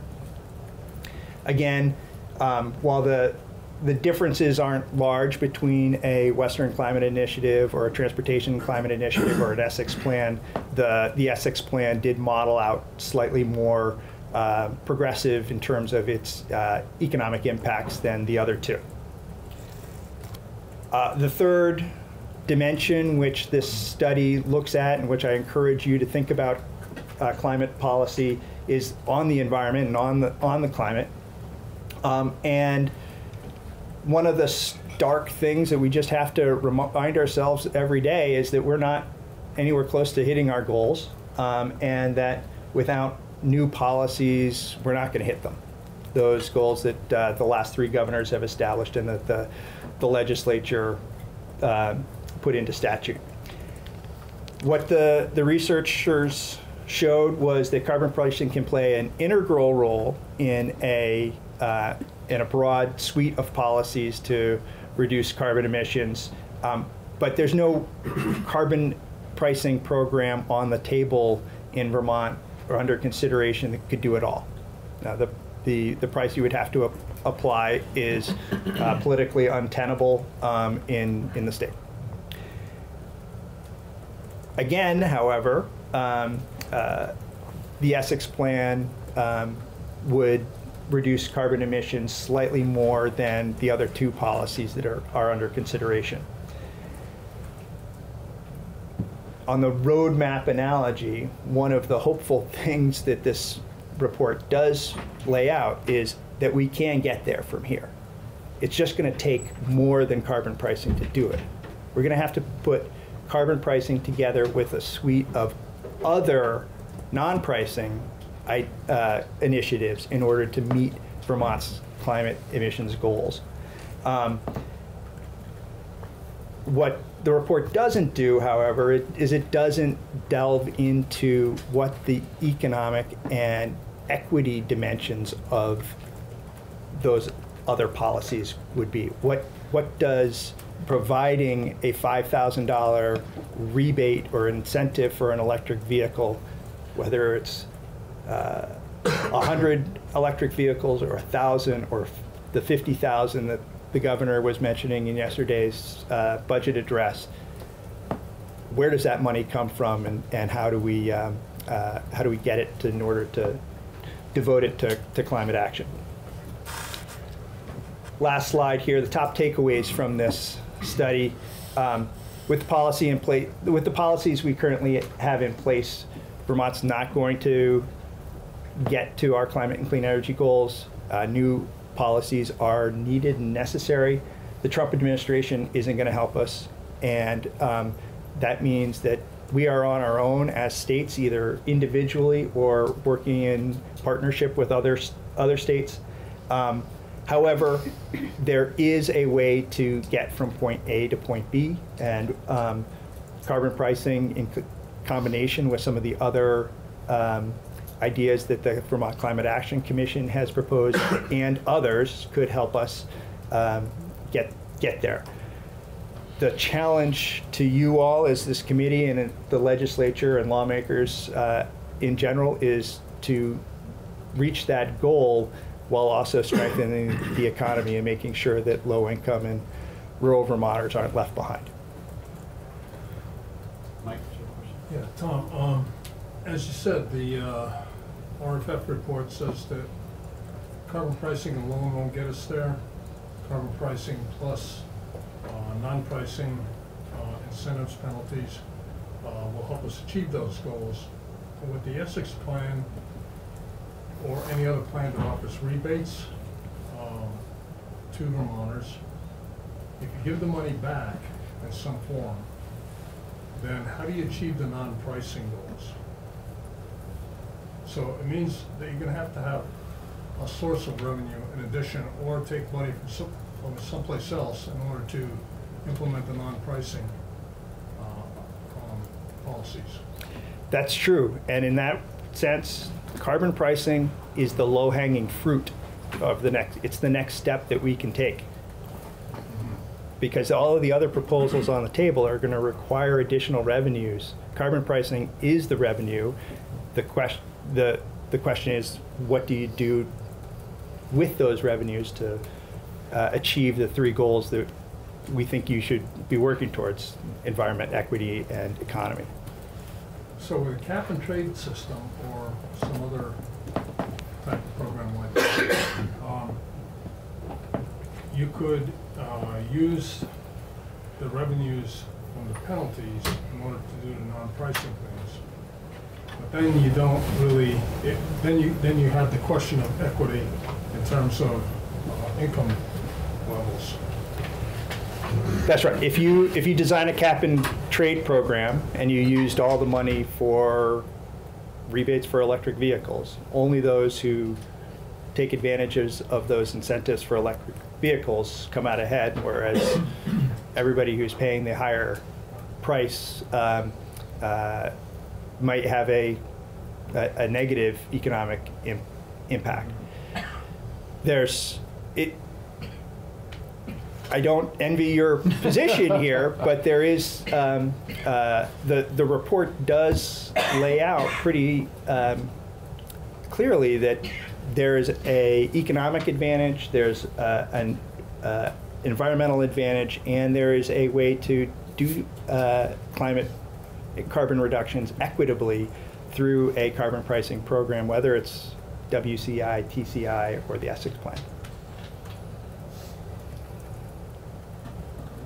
Do you want to ask a comment? Well, this probably is, uh, is more of a question for the uh, folks at RFF than you, but if you, I'm not sure whether their analysis that, um, looked at using part of the revenues from a carbon price or a cap and trade system for non-pricing incentives, and what that would do to their numbers in terms of what quintiles benefit and which don't.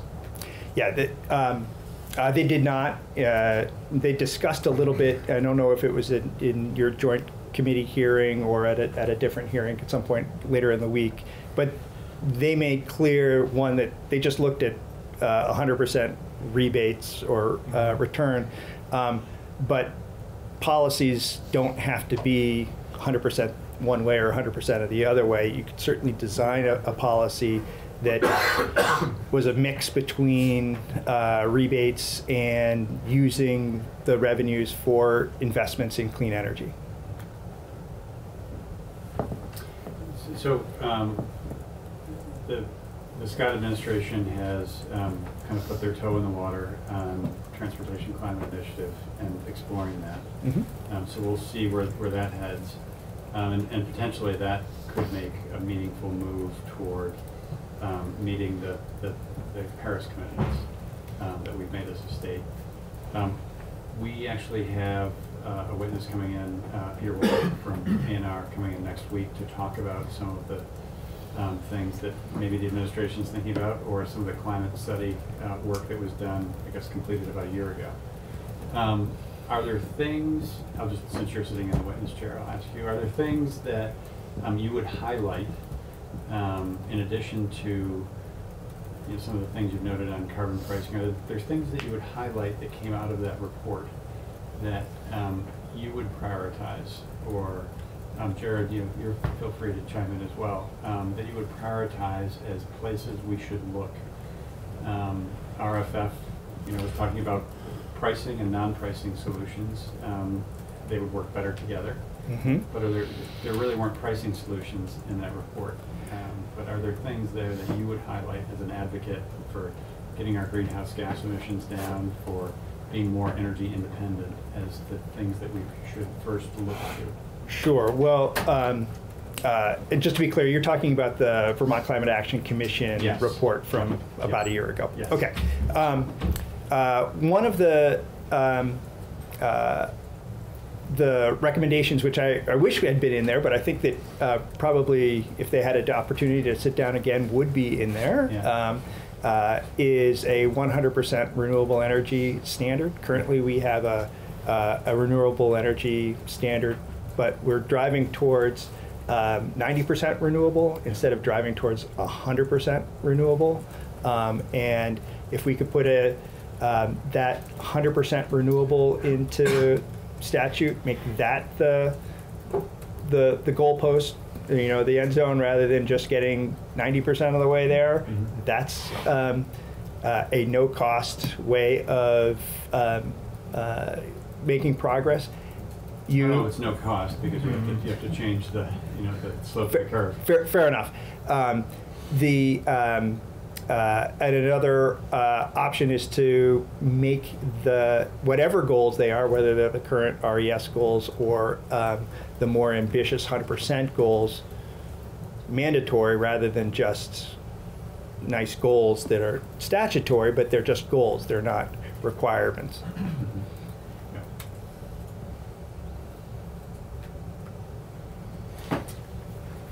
Um, So I'm wondering whether uh, a better strategy um, might not be to uh, prioritize non-pricing strategies uh, first, um, probably with uh, using, using uh, money, revenue raised by some sort of a um, fee on, on on fossil fuels, but with the goal of being not to, uh, not to use carbon pricing to, to, to re- to reduce energy usage and greenhouse gas, but, but uh, to, to use that revenue to, uh, to stimulate really more comprehensive uh, non-pricing strategies, like increasing weatherization, making weatherization available to people uh, above the current um, income threshold, maybe on a sliding scale. Um, Some other ideas that I've been thinking about, um, um, hiring people to enforce the energy codes that we have, which are completely unenforced now, um, and, and using that group of people to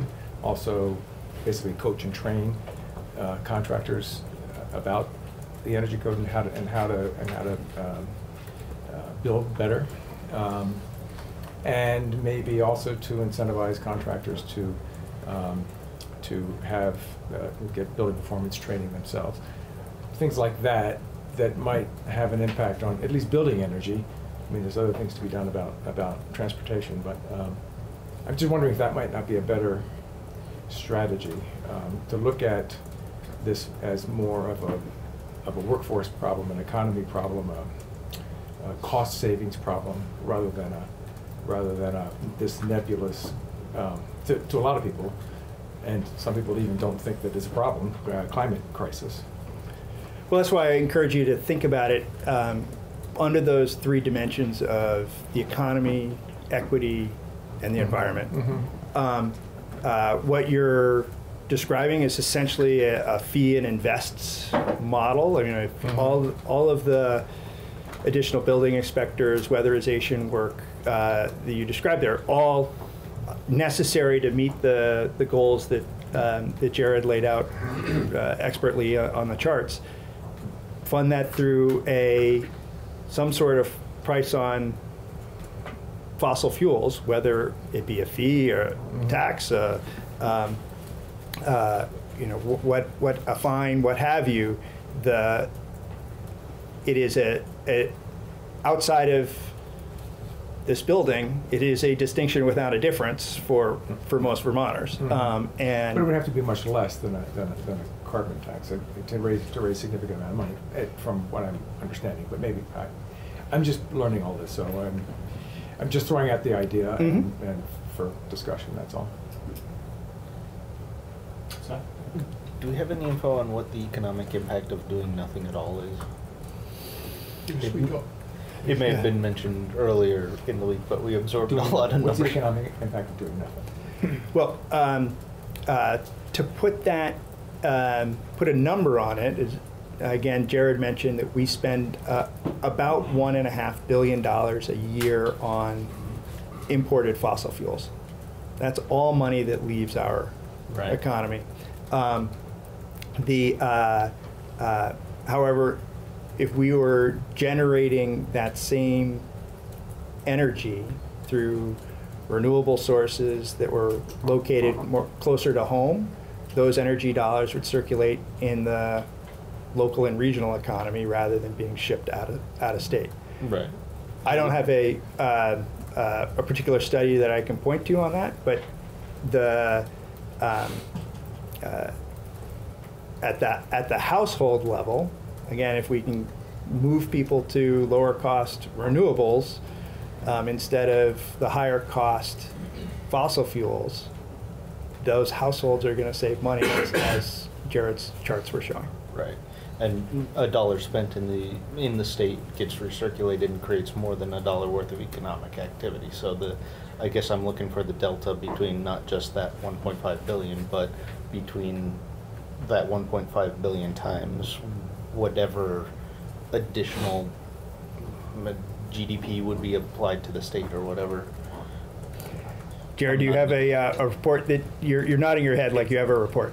I'm nodding my head because it's a great and important question. I don't think it's been fully answered Okay. yet. Um, I, I think you could fairly say if we do nothing, we'll continue to see 80% of our energy dollars used on fossil fuels, and then 80 cents of all of those dollars leaving the state. So we'll continue having this net economic drain that's hampering our economic growth and investing in local jobs. I don't know what the we haven't, it hasn't yet been fully calculated what the net economic benefit would be. Um, yeah. Okay. so, okay, go ahead. No, I've just got a point to make on, on Scott's proposal as far as uh, just single-family residential construction goes. Uh, As a contractor myself, uh, over the years, I can't think of uh, a house that I've built that the individuals don't buy their own materials. And a lot of them, uh, I think I've built two houses basically that have been built through Craigslist materials. So again, I think it would be a huge uh, increase in costs. I understand the benefits on the, you know, energy side of things if you, if you built a certain code, but uh, uh, the costs out there are extreme as it is, and to have that level in that, you know, residential category alone would- would be devastating to a lot of folks. So, it, just in the context of committee discussion, I don't mean to ascribe this to your testimony, Tom, but, um, you know, one of the ways I think about your, your question, Seth, of, um, you know, what would the, what's the cost of doing nothing? Um, because that's, that's always the easiest path, to do nothing. Um, a, a question, a concern that I have is, you know, if we look out twenty years, uh, some would say less, some would say more, that when our economy and our climate is at a point where we are truly in a daily crisis, um, a concern that I have is that a number of states, a number of countries at that point will genuflect to a solution, which will be very costly. In other words, they're gonna have to compress the amount of change that's gotta occur in the economy into a very small amount of time. Whether it's, you know, uh, immediately turning off the spigot for using certain types of fuels, or in a very compressed amount of time requiring certain changes to occur. And um, I think it's, from an economic standpoint, uh, those transitions are better made over longer periods of time. So the extent that we can, uh, you know, one could say we should have been focusing on these things 20 years ago and had a much longer ramp to these solutions, which would have been much less disruptive. But, you know, the, the, the context in that we give ourselves longer time to make these changes, I think is less economically disruptive. And um, so, you know, starting to look at those things with immediacy um, will ultimately, I think, be less economically disruptive than when, you know, we wake up in 2030 and say, we gotta turn this off. That, I think, is really economically cost, costly. Now, that's speculative on my part, but that's one of the ways I think about this. And just piggybacking on that, uh, those solutions are gonna have, we're, we're turning those solutions over to our children and grandchildren. I don't like my kids very much. Yeah, Okay, well, there you go. It's easy then. Know, Well, you can also say it's putting on a credit card for future generations. I kind of equate it to studying for a test. You you know the test is coming. Um, you either start studying, uh, you know, a month ahead of time, a week ahead of time, the night before, or you wake up that morning and say, "Oh crap." Right. I think that's the path we're on right now. Any other questions for Tom? Uh, You Thank you for the opportunity. Yeah, no, thank you for joining us. Appreciate it. Um, So th- that's all the committee work we're going to do today. Um,